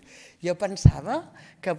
Jo, jo sóc d'una època en què la gent feia colònies i, eh, i pensava, doncs ja un parell de dies més ja fem una setmana, podríem fer una setmana sencera, no? Va, a veure, per mi aquest congrés ha estat una lliçó d'humilitat. Vale? No sé per vosaltres, eh? Però podem estar molt capficats en la nostra recerca, però anem, venim a un congrés com aquest i ens adonem de tot el que no sabem i de tot el que podíem haver sabut, no? O hagués estat bé saber abans d'escriure un paper o abans de parlar amb tanta seguretat d'alguna cosa. Eh? Llavors, és una humbling experience, si es diu, si es pot dir aquesta expressió. Llavors, per mi ha estat això. Únicament us vull, us vull dir dos, dos pensaments abans de tancar, de tancar per la meva part, perquè després vindrà el director científic i vindran les coses que són segurament més, més divertides per un divendres. No? En, en primer lloc, la primera idea que em vaig repetint a mi mateixa des de fa molt de temps és l'obligació que tenim quan estem fent recerca, l'obligació que tenim de comunicar bé, de comunicar bé no únicament en aquest paper que publicarem en aquest lloc meravellós, sinó de comunicar bé i de manera molt senzilla als nostres polítics, als nostres policy makers and decision makers, publicar bé de forma senzilla els resultats de la nostra recerca, vale? Que arribin bé. Us en recordeu que sempre comencem moltes classes en temes ambientals parlant de la Rachel Carson, no? del, seu Silent Spring. No? Era un exemple de comunicar bé no? El, els avenços científics i allò va produir uns efectes. Jo crec que tenim, la gent que estem dedicades d'alguna manera en la nostra vida durant un període llarg o curt, tenim aquesta obligació de comunicar bé per als, per als decisors, simplement un article al diari no ens pensem que, que allò arriba, eh? comunicar bé i comunicar bé als, als ciutadans també, per, perquè ara estem competint amb molta informació i la nostra ha d'arribar bé. No? I el que us volia dir en aquest sentit és que, és que aquesta setmana per mi ha estat molt llarga, per vosaltres segurament també, no? però dic molt llarga perquè l'ICTA, és això, però també són moltes altres coses. L'ICTA al principi de setmana teníem un workshop, no sé si la Leticia està o si no s'ha ido. Leticia està por aquí? Leticia, hola! No, pues, la Leticia va dir, vull utilitzar aquest impuls per organitzar un workshop on es va treballar el tema de la desinformació eh, i els perills de la desinformació. I en una de les sessions que jo vaig poder estar, eh, vam veure que hi havia gent que ens explicava que ens aniria molt bé treballar més el tema de les emocions. Tenir, a lo millor, l'ICTA, algun psicòleg o psiquiatre, algun psicòleg o psiquiatre que ens expliqués com aquest tema que són les emocions no? és tan vital perquè la recerca arribi on ha d'arribar. Perquè, com us deia abans, competim amb molts mitjans molts mitjans i a lo millor la nostra informació no arriba bé. I el tema de les emocions, a mi em va agradar molt sentir-lo, eh? perquè penso que avui en dia és especialment cert. No? I llavors, parlant d'emocions, Llavors, i continuant en l'agraïment amb la Letícia, que va ser, jo crec, molt interessant aquell, aquell workshop. Bravo, bravo, bravo, bravo. Continuant amb això, volia compartir amb vosaltres també com, com em sento avui, no? i agrair no únicament als organitzadors, que jo pensava, no t'oblidis els organitzadors, que han fet molta feina. Ja sabeu que vaig, vaig donar el meu, el meu agraïment, no? molt sentit als organitzadors l'altre dia, però també vull agrair a, a, als que realment han fet les xerrades, les diverses xerrades Eh, de les que hem après avui, els que hem, hem fet preguntes, heu fet preguntes, i eh, també volia compartir amb vosaltres que m'agradaria que dintre de l'ICTA, veient aquest congrés, tots els membres, parlant d'emocions, siguin capaços de sentir alguna similar a el que sento jo avui, no? que és aquesta, aquest agraïment profund. Eh, I que, com a mínim, sentin que tenen valor, eh, que són apreciats i estimats i que han de sentir-se útils a pesar seria, eh? malgrat aquestes petites locures que, que tenim i pesadilles diverses que tenim, que tenim diàries. No? Penseu que sou útils i que el que fem eh, val la pena. La segona i darrera idea és que, que aquest congrés demostra que hem de col·laborar, que el tema és completament impressionantment difícil, els temes que treballem. No? Si dintre del LICTA ho fem i hauríem de col·laborar més, la gent que heu vingut de fora, els que veniu de fora, doncs gràcies per venir i compteu, compteu amb nosaltres. Jo crec que som una comunitat científica molt potent, però hem de saber que aquesta col·laboració ha d'arribar també, com algú ens recordava fa un moment, a les comunitats locals, que el que fem ens ha de servir als que tenim més propers. I això és tot, gràcies i fins a la propera. Esteve Corbera, director científic de l'ICTA. Gràcies, directora. Gràcies, directora. Thanks, director. Um, okay, I'm standing here between two very important talks that still remain for today, Olivia Mandle and, if I recall her name properly, and Adriana Bertrán. So I'm to try to be, to be brief, and the party, of course. So I'm, I'm between two, uh, two great, great speakers plus the party that uh, it's being held in Barcelona later. So just a few words to sort of summarize uh, a little bit the conference. And let me start with some words that are not mine the work that is being done here at the Climate versus Growth Conference is key, given the current socio-ecological crisis and contradictions between climate and growth. These words are not mine. They are the words of the second vice president of Spain, who was here with us on the first day. And, and of course, we're not naive. We know that the fact that she was here doesn't mean that uh, policies from the Spanish government and from the European Union are, are going to, to change from, from night to day and just because of everything that has been discussed in the conference. But it does mean, uh, with her presence here, what it means is that the debates we had these two and a half days are, are gaining political traction and, and attention of very high level politicians and, and governments. So I hope that you, you enjoyed the opening ceremony that also counted with the participation of, of Yayo Herrero, ecofeminist, uh, activist, anthropologist. We learned, we learned that she, she's from Madrid and lives in Cantabria, and uh, she reminded us that, that we are part of the fabric of life, that we are destroying this planet. And she reminded us of something that then I saw happening these last two and a half days, every minute of this conference which was that people in this conference cared about each other. And she reminded us how important care is in human societies and that we practice care sometimes all the time. And when we want to do it, we do it very well. Uh, so she reminded us of the importance of care for the future of the earth. We had a, a very thought provoking debate. Lovely, you know, it was great how Jason Hickel moderated it.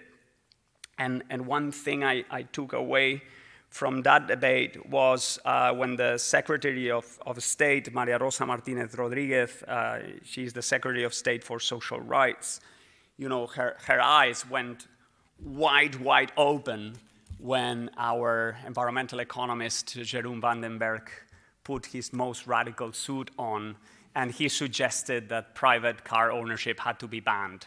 Uh, that was a fantastic moment of the debate. Uh, and it was, it was really good to see Jason and, and Maria Rosa sort of aligning on, on the idea of a, of a basic income, and, and also Alberto Garzón, former minister, uh, who confessed that he was an omnivore, and, and how he uh, explained to us uh, all the sort of in government conflicts that occurred when he tried to suggest that we had to eat less meat. So let me say that um, I'm kind of sad. I mean, for the organizers, probably now is a moment of joy, but I'm very sad because I, am thinking that we would have had to plan a longer conference.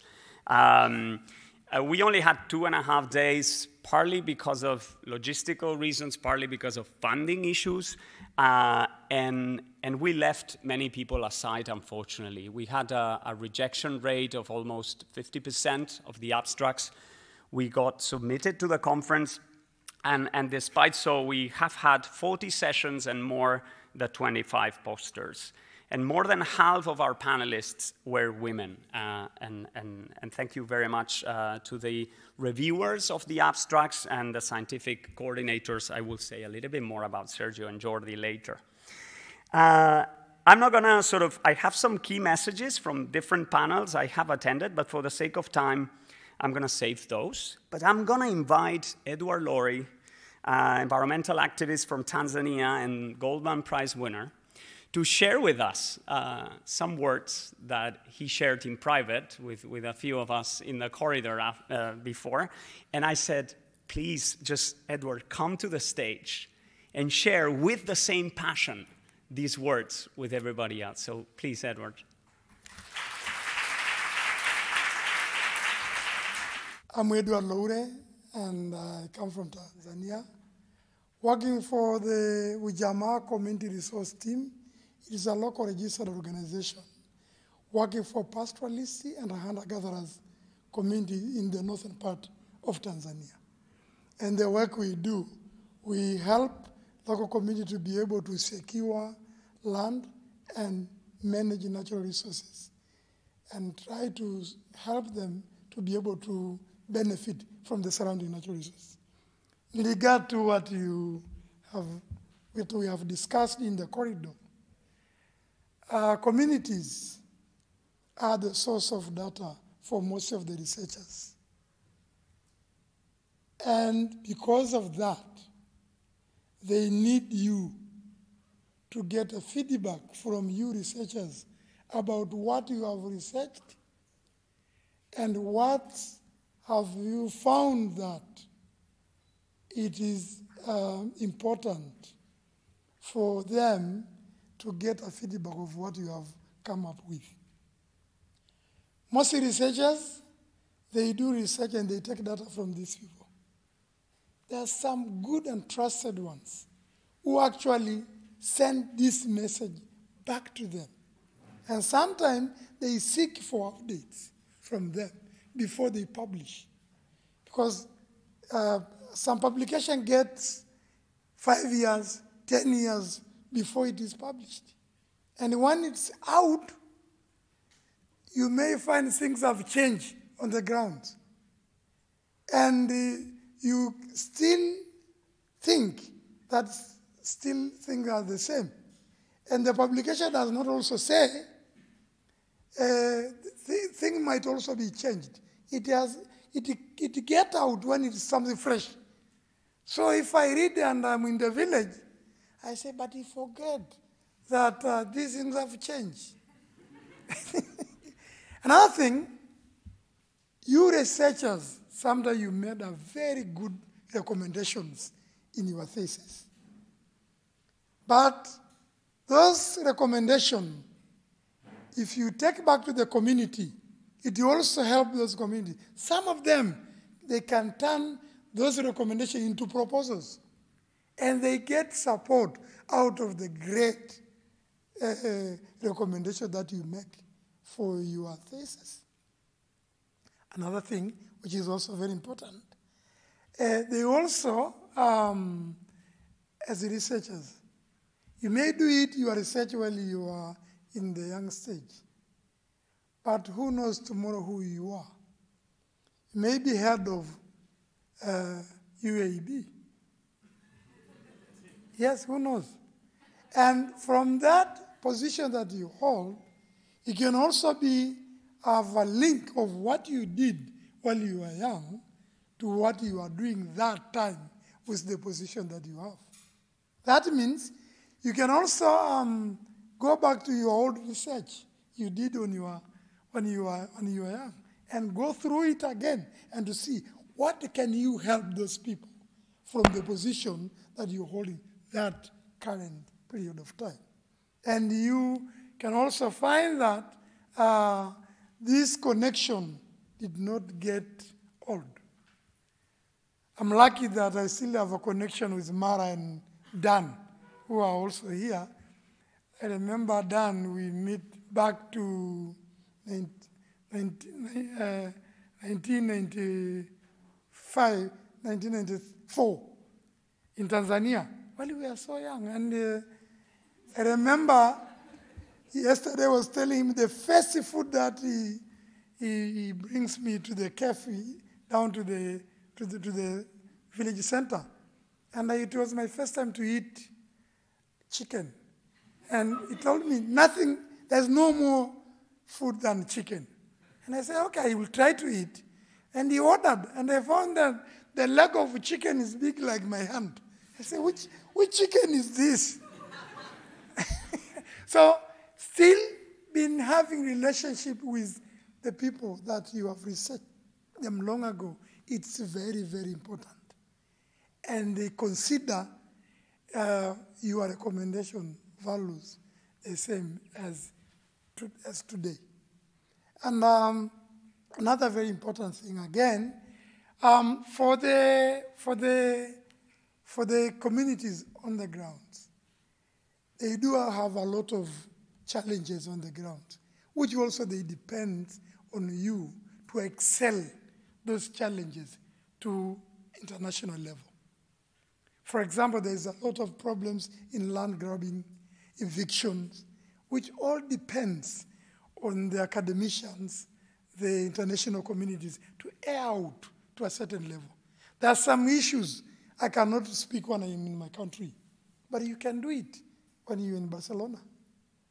So instead of me coming to Barcelona, I send you the information. The world now becoming like a village.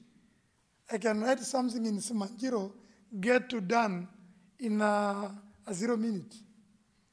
And you can just do it. And that is another good connection be having from the local people on the grounds and people at this level. And finally, research is powerful, very powerful. And being powerful, you need also to do it in a perfect way so that you make sure those data can be used by anyone else. By acknowledging you, for, of course, but to change the world and make it a better place to stay. Thank you very much.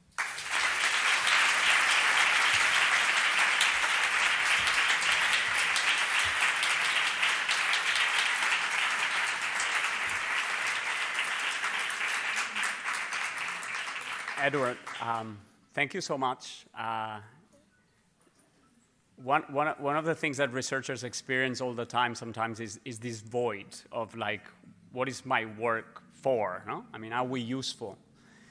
And you reminded us that we are part of this intricate web of relationships, friendships, uh, relations of power as well, but that if we partner together, we can really transform the world and the lives of others, and that gives sense to our work, and you reminded us of that. So thank you, thank you wholeheartedly.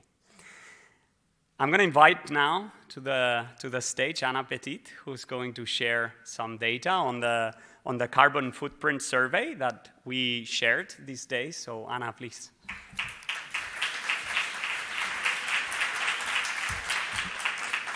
Well, hi, you didn't sign up to see me, so I'll be quick. Um, well, you know, things happen in the background while you're at a conference. It's nice to talk and discuss about things that you want to change in academia and in the world, but things are happening here as well. So uh, our team, ICTA, actually is very devoted to reducing the environmental footprint of travel.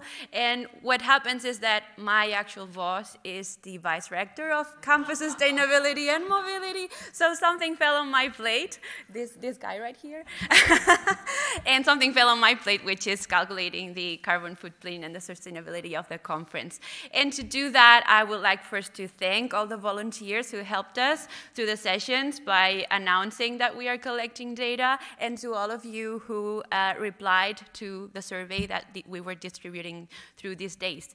Um, you might have seen we had the survey, which was related mostly to transport and food, but we are also collecting data about the catering services, the materials that we use for the merch, for the packaging and also about the diversity of people that we have here, because as you know, social diversity in a conference is very interesting, as the previous speaker, which was very charismatic, already pointed out, and also water and energy, which are very scarce. Just a little spoiler, because these are not the final data, just to share that 156 people have responded so far. This is more than 40% of you, so thank you to you.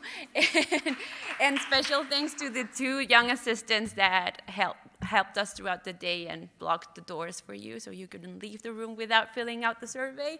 Um, so thank you to them. Um, just a quick summary. Uh, most of the people who re re replied so far were women, but um, good. Kudos to you, women.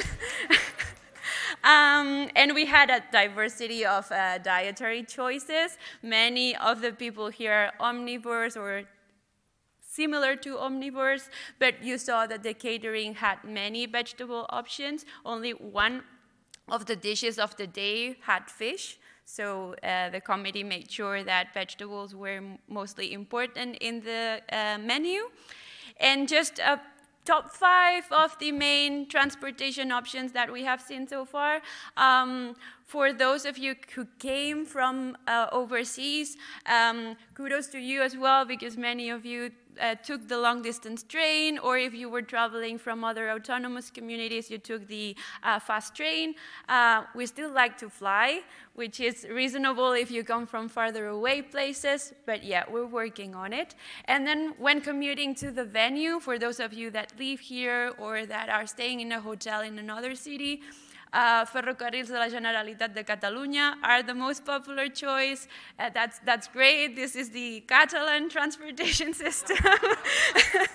and also walking, which is also great for those of you who stayed on campus. Uh, and some of us, also, well, not me, some of you also like cars, but yeah, we, we, we depend on many choices in our lives, right? So this is the first spoiler. We are going to prepare a full report with a lot of pictures, a lot of information about different things that went on behind the stage. I thank Maria as well for all the input that she's giving, and hopefully we can share it with you. I invite you to keep filling out the form if you haven't yet, because that will be very useful for us, and hope that you are enjoying your, uh, enjoying your stay and hopefully better the speeches that come after mine. so thank you.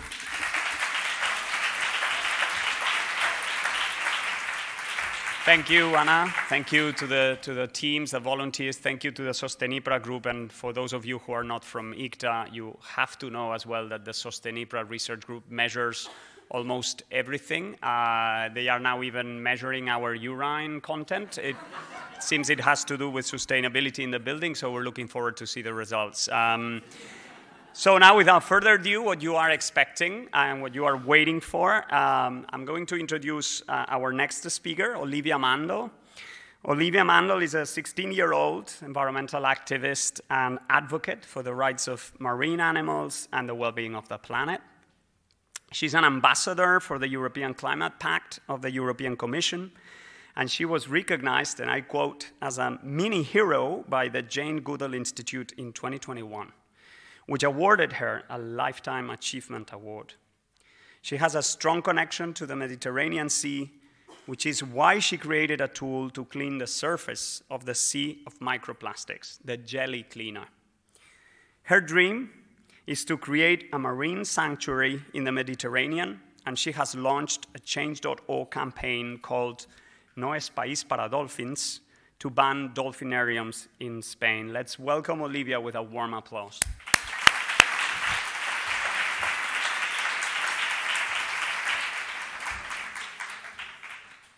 Hola, buena tarde. Good afternoon. As of today, countries like the US and Canada have reached their Earth Overshoot Day. The theoretical day in which humanity is consuming resources beyond what it can replenish in one year. While these may be two of the biggest oil and gas producing consumer centric countries, Spain only needs two more months before it runs out of its theoretical allotted yearly resources um, in mid May. In fact, not a single country in Europe makes it to summer. The world as a whole rounds out on July 25th. Last year, it was August 2nd.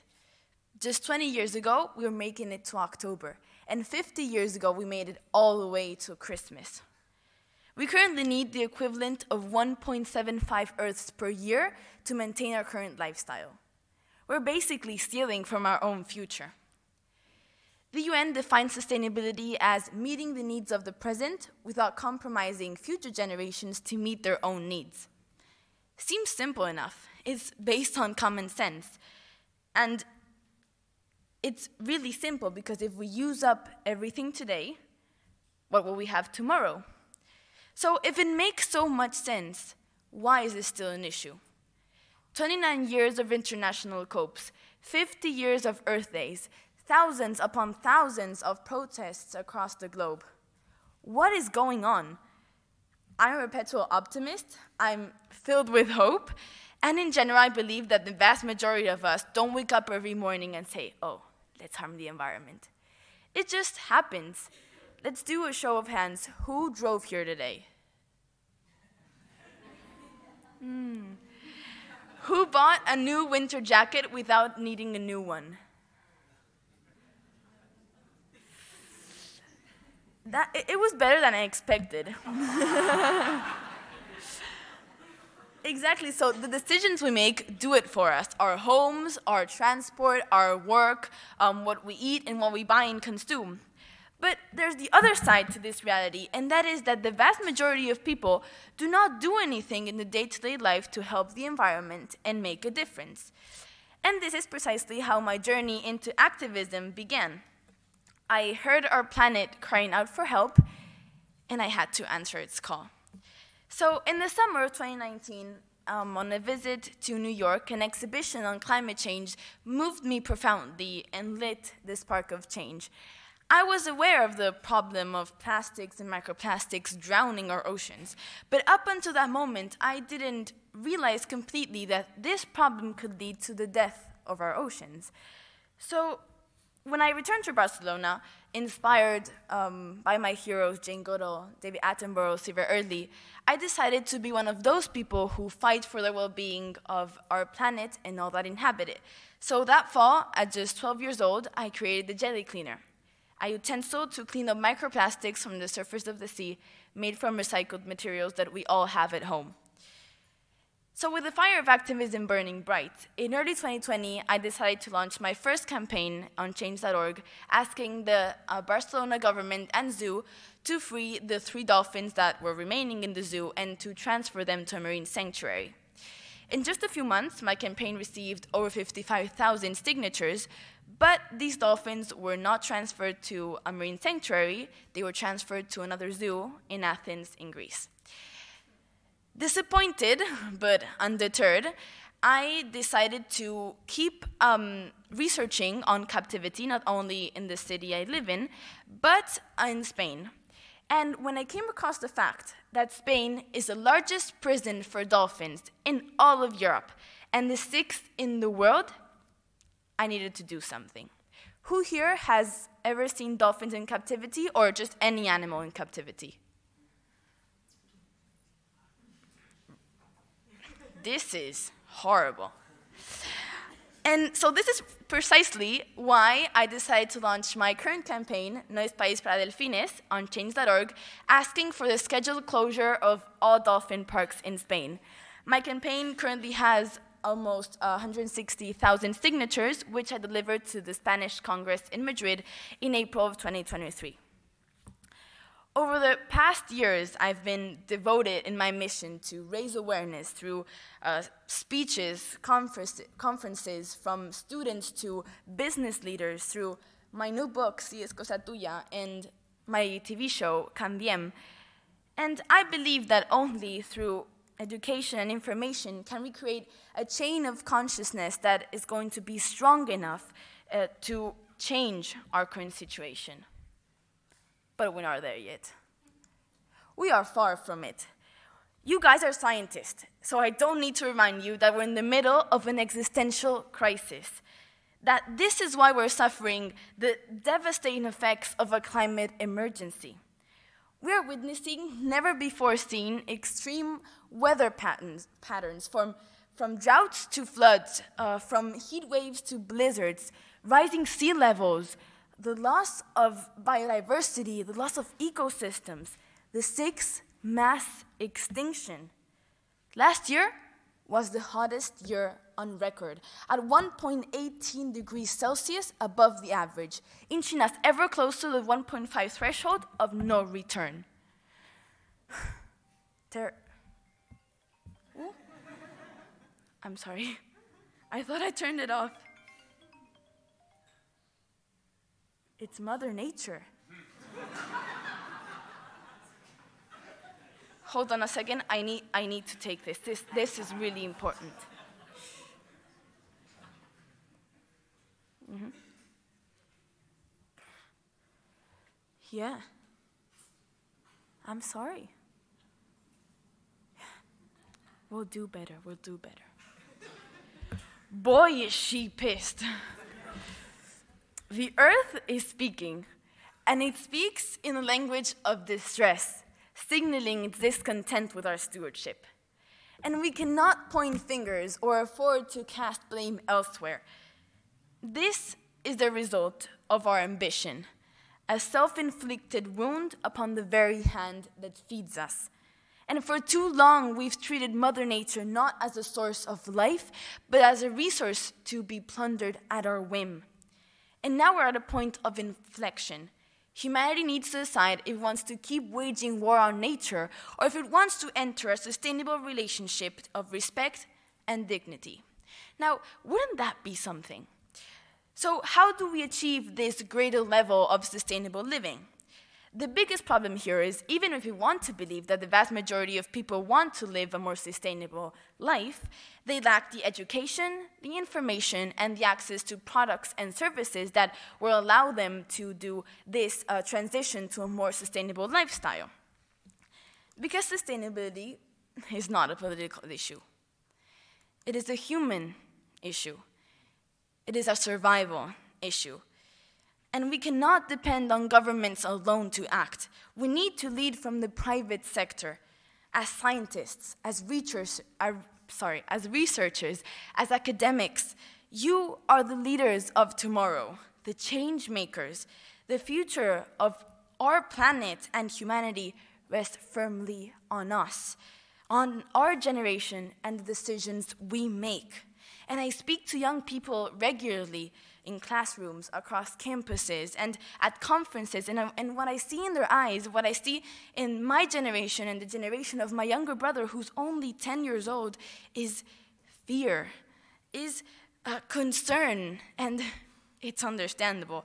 In the face of this climate emergency, it is natural to feel a sense of apprehension, to be nervous or anxious about the future, about what is lying ahead if we don't make the bold changes, changes required. And I say to them, and I say to all of you, it doesn't matter if you're scared. Fear is a human emotion that reminds us that we have something worth fighting for. But what's not all right is to stand still in the face of fear. So let us move forward not with trepidation, but with the resolve to enact change one step at a time. For when we do, we do not just serve the planet, we serve ourselves and the generations to come. Your science is crystal clear, and the evidence is overwhelming. But it is not enough just to share it with the people. Bombarding them, bombarding them with data, with future projections of uh, melting ice caps, of extreme temperatures, and rising sea levels won't make a difference if we can't mobilize them. I'm only 16, and in my few years as an activist, I've been devoted in my mission to raise awareness, but most importantly, to get people to act. Every one of us has the power to effect change. No matter your age, your background, where you live, what you do, you have a role to play. And we have a moral obligation to ourselves and to future generations to create a more sustainable existence. For the decisions of today have long lasting effects on the generations of tomorrow. And we all know that the ultimate goal is for our governments to finally take a stand and enact bold legislation that aggressively attacks this climate emergency. But we can't expect them to lead. They will follow public opinion, and only when politicians feel the pressure from a mass global citizen movement can we ever hope to find a solution to the dire situation we are facing. Because talking, it's fine. Resolutions, yeah, they're great. And commitments, inspiring. But only one thing can make a difference, and that is action.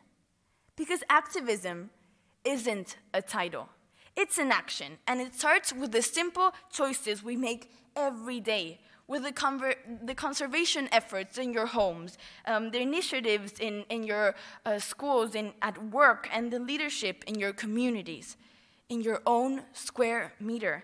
Because every step taking, taken is a building block towards the kind of future we want. And I don't need to remind you that the urgency for action has never been greater, that the stakes have never been higher.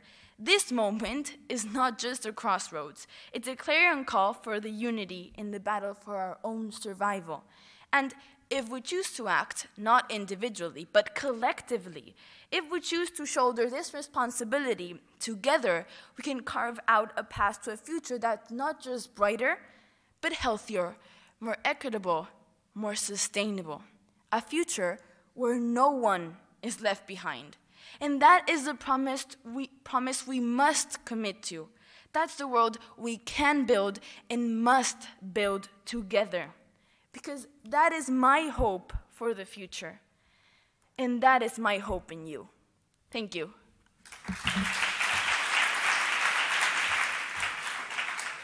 Well, thank you so much, Olivia, for sharing your thoughts with us and, and moving our consciousness. Um, and I think we're going to have now another, another person who's going to shake our, our souls as well. Adriana Bertrán is one of the leading voices in the European slam poetry scene. As a UAB alumni herself, uh, she studied phi phi philology, right, uh, here at UAB. She has brought her politically charged performances to institutional, academic, and cultural events across the globe. And we are really privileged uh, to have her with us and also maybe give us a, ¿no? un par de hostias que decimos en español. Eh, thank you, Adriana. Thank you.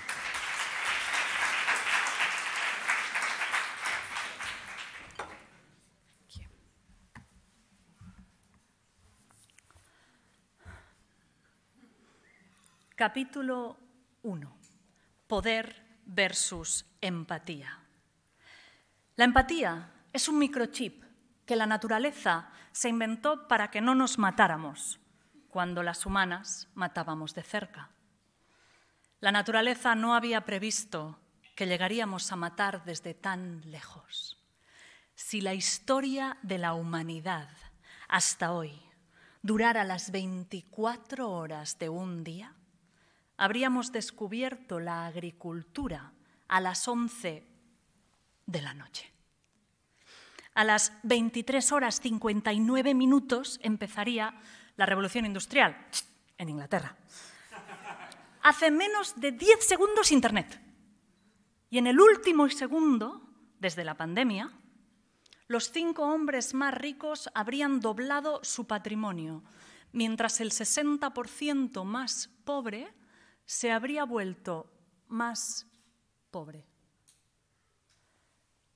Nuestro microchip de la empatía no ha logrado bajarse las actualizaciones al ritmo de nuestra histórica anomalía.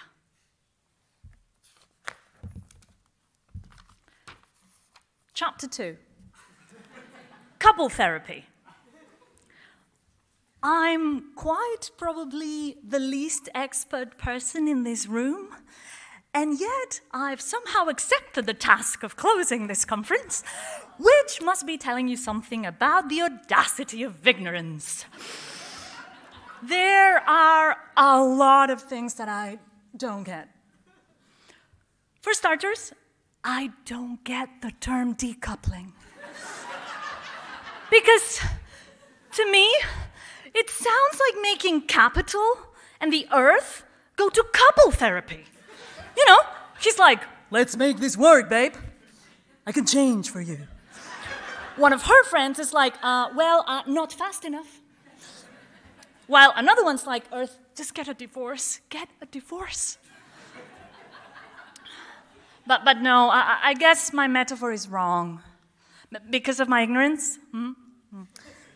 And because no sane couple therapist would insist on fixing an abusive relationship.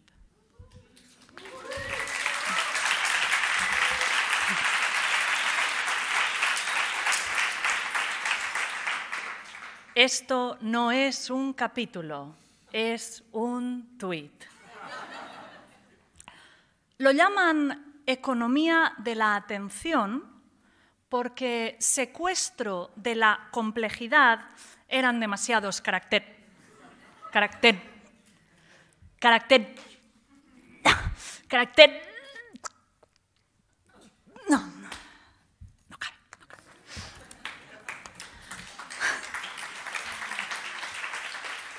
Chapter 3 Deus ex machina makes the economy go round. Atenció, atenció! Les nuclears ens donaran energia neta i barata!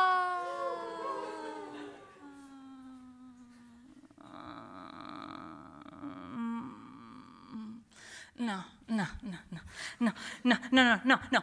Els transgènics alimentaran el món!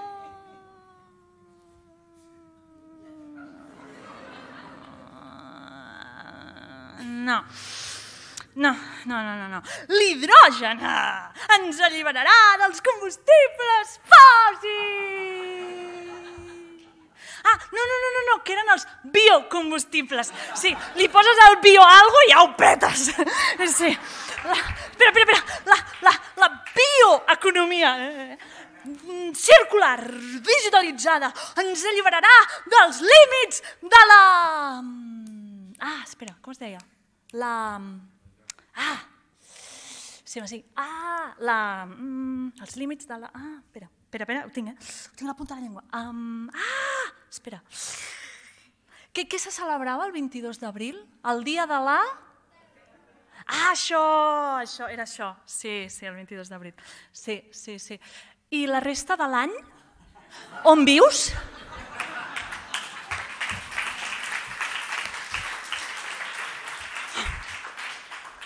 Spoiler.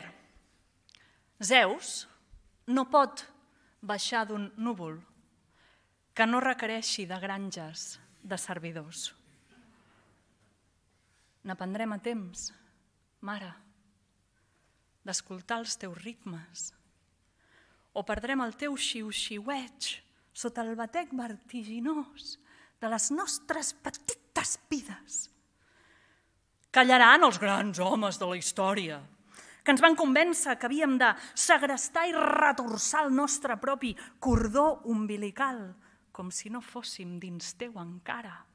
Mare, l'atmosfera, capes d'un úter, protegint-nos.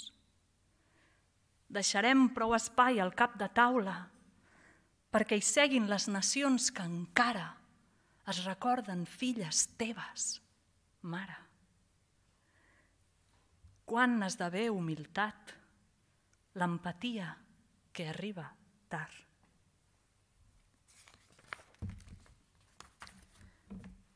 Capítulo 4.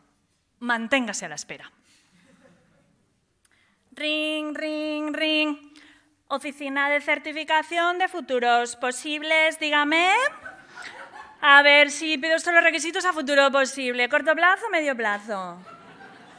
Largo, pla largo plazo. Largo plazo. A ver. No, no, el sistema no me deja. ¿Mm? Eh, mira, vamos a poner medio plazo, ¿vale, guapa? A ver, es muy sencillo. Hay un test de medición para comprobar que el candidato a futuro posible va a parecerse lo suficientemente al presente. ¿eh? Es así tipo las siete diferencias del periódico, ¿sabes? Sí, sí, sí, este test te lo descargas de la web en PDF. Hmm. Sí, y luego, antes de poder certificarlo como futuro posible, está la Off-Limit Declaration que es pues eso, pues para verificar que no se cruzan líneas rojas, ¿eh? no sé, tipo, que no redefina nuestro concepto de verdad, que no toque la propiedad privada, antropocentrismo, crecimiento exponencial, pues eso, lo normal, ¿eh? Lo normal, sí. Va, sí, ya. Mm, mm. ya. Bueno, mira, eh, mm, Mira, eh, mira, yo por que me cuentas, ¿eh? Lo veo dificilillo. Lo veo dificilillo. ¿eh? No, no, suena muy bien, somos súper bonito, ¿eh? Pero como para certificarlo como futuro posible, ¿eh? ¿eh? Mira, mira, vamos a hacer una cosa. Te pasa con el departamento de ciencia ficción y utopías, ¿eh? que ahí no tiene ningún requisito. ¿eh? Es así como más artístico. ¿eh? Bien, bien, bien. Vale, pues nada, ¿eh? Manténgase a la espera. Pi, pi, pi, pi, pi, pi, pi, pi, pi, pi, pi,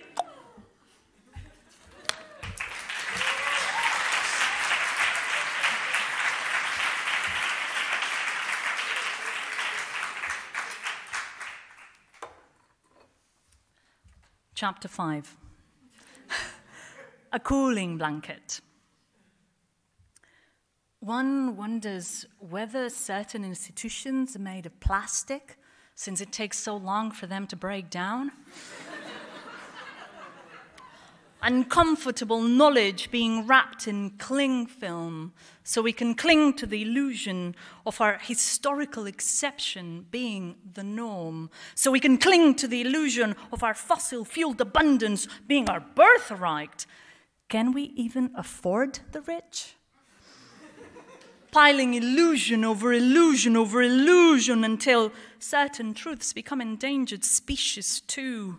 The Titanic's orchestra playing in stereo on steroids like a cooling blanket in a warming world made of a material that is not future proof.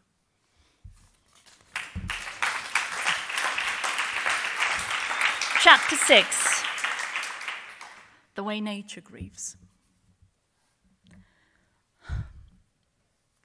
I want to learn to grieve the way nature grieves by making fruit from decay, by breaking down what is dead so it can fertilize. I want to learn to grieve the way nature grieves by insisting only the individual plant can die. Nutrients will move around beyond the sum of the parts. If we split the heaviest rock until it becomes the sand, if we share the grief inside, we may find the rage to fight, so we won't escape the facts. No more. No more. No more. Bull plura la saquera. I call on my ancestors, alive and not alive. And we look at the land and we look at the deeds, our emissions, our omissions for the children yet to come until we catch up on grief. Until we have enough grief for every fucking goodbye. Three species every hour, glaciers crumbling into silence. We feel filthy, we bleed responsible. ¿Quién iba a decirnos que la crisis de salud mental y la emergencia climática no eran solo consecuencia y causa, sino resultado de una misma soledad? Esa falsa y peligrosa independencia humana de todo lo vivo, de otras cuerpas, de cada una de mis hermanas. Hemos podido crecer hacia la muerte separándonos exponencialmente de las consecuencias de nuestros actos. Y el matar de lejos y el matar a plazos. si sentimos lo común, si lo común tiene sentido, ¿será sentido común? Duele, duele la empatía. Cuando insiste como músculo en que la herida de lesotres es demasiado mía, esa valiente contractura compartida, saberse tierra pesa. Pero el dolor solo puede sobrevivirse en la línea, nos hunde en el punto. Somos más grandes que el dolor por el mundo de cada una si nos atrevemos a mirarlo juntas, si nos atrevemos a sentirlo juntas y dejamos que nos una.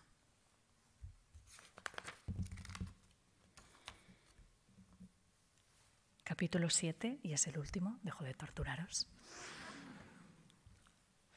A vista de pájaro. The Jay, arrendajo en castellano, o gaig en català, és un ocell, segons diuen, oblidadís. Cada tardor enterra llavors per l'hivern, però oblida on. I és així que ha ajudat a replantar boscos sencers, sense saber-ho. Són essencials després de cada incendi. Jo, des de la meva ignorància, no crec que aquest ocell sigui oblidadís.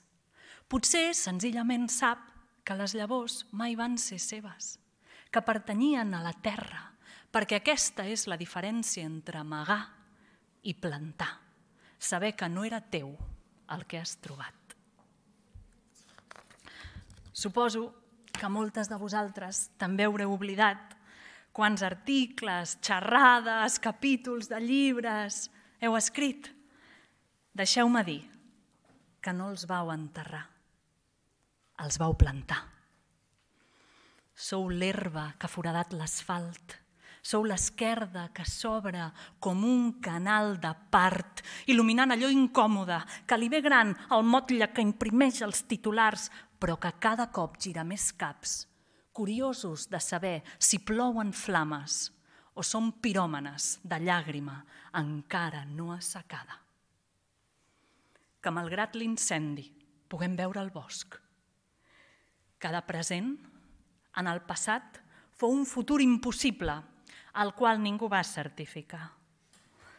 Saber veure la foscor és la conseqüència d'haver après a mirar. Mirar de prop, com fa la ciència. Mirar de prop, a una distància que permeti a l'empatia desplegar-se, que permeti al microchip que ens havia fet humanes.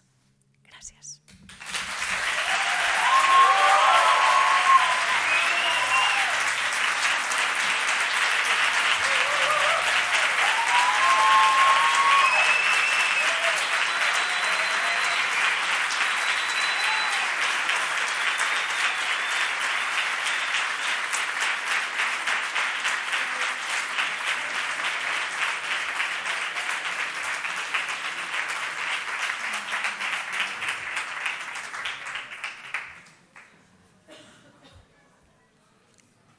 Thank you so much, Adriana. Uh, anything we say now, it's. but I have to finish with, with a few words. Uh, and, and in fact,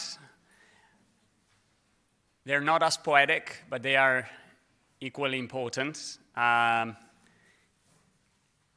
these acknowledgements that come next are are very felt and, and they're very close to, to my heart. Um, the first thing I'm going to say is uh, that we hope that you made the most of this conference. We started the conference, or I started saying in this conference that we, we wanted or we thought about this conference as a way of bridging uh, different scientists who are going to work together in the future or have worked together in the past and use the conference to meet again. I hope you, you achieved that, that you started building new bridges or consolidated existing ones, um, and hope you have fond memories of, of this conference. There's a lot of work behind a two and a half day conference. Um, And there is a lot of people involved in, in this organization uh, of the conference. I hope I will not forget all these people that have been behind and that have made this a reality. First, of course, I cannot forget the institution that is funding this, which is the Maria de Maeztu Unit of Excellence program of the Spanish Ministry of Science and Innovation that I, I would like to acknowledge. But then, of course, the people behind. Uh, don't know where they are, but I, I would like them to come to the stage. Uh, I will start with the scientific coordinators of the conference. I would like to start uh, or ask Jordi Honey Rosés to come to the stage together with Sergio Villamayor Tomás. Look, I'm, going, I'm going to say something politically incorrect, but, but those who know me know that sometimes I'm politically incorrect. Uh, about a year ago, um, the scientific manager of the institute and myself asked the senior community of ICTA, the senior faculty community of ICTA, who wanted to lead the scientific organization of this conference.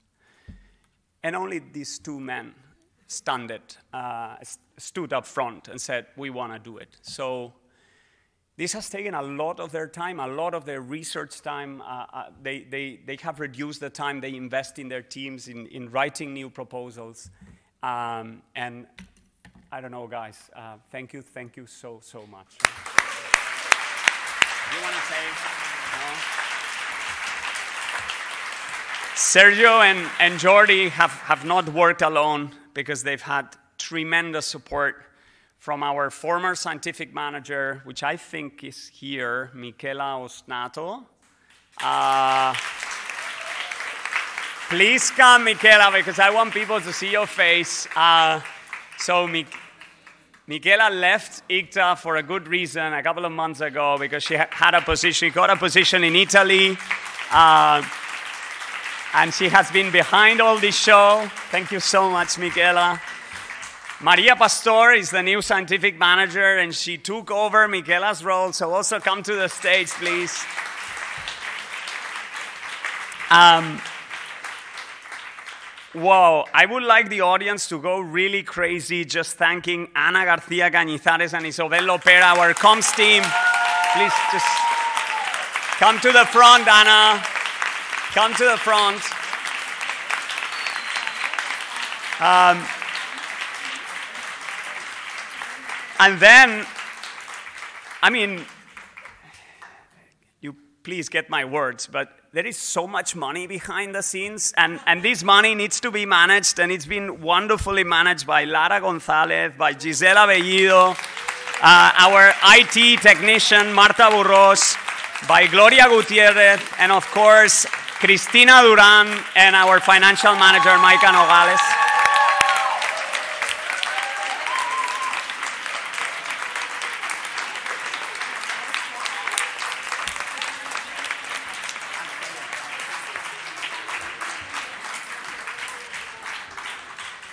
We, we have a little present for them. Um, they, they can take the present home, but if they leave it at ICTA, I'm sure that in one of the coffee breaks we, we can use this. Um,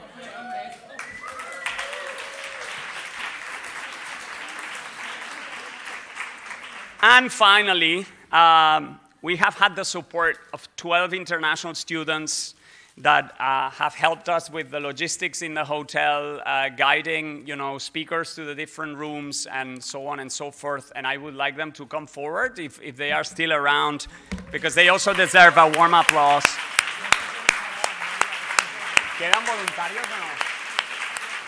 Maybe they are gone. They, they, are probably in the party, so you may meet them tonight.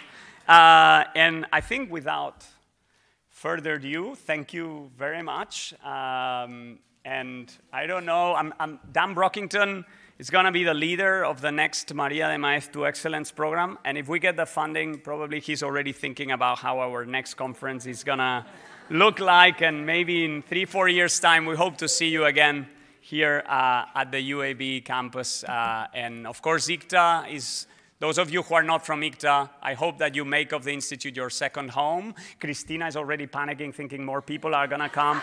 Um, But hey, uh, enjoy our last activity, which is starting now. And thank you very much.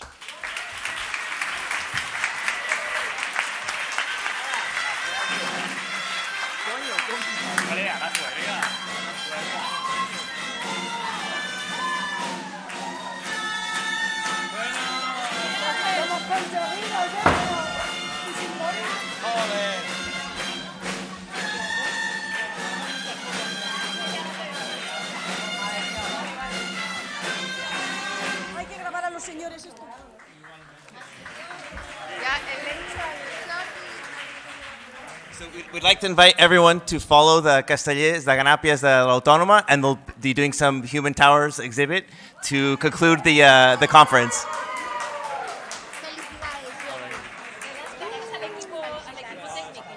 Ah, and we'd like to thank the... the ah.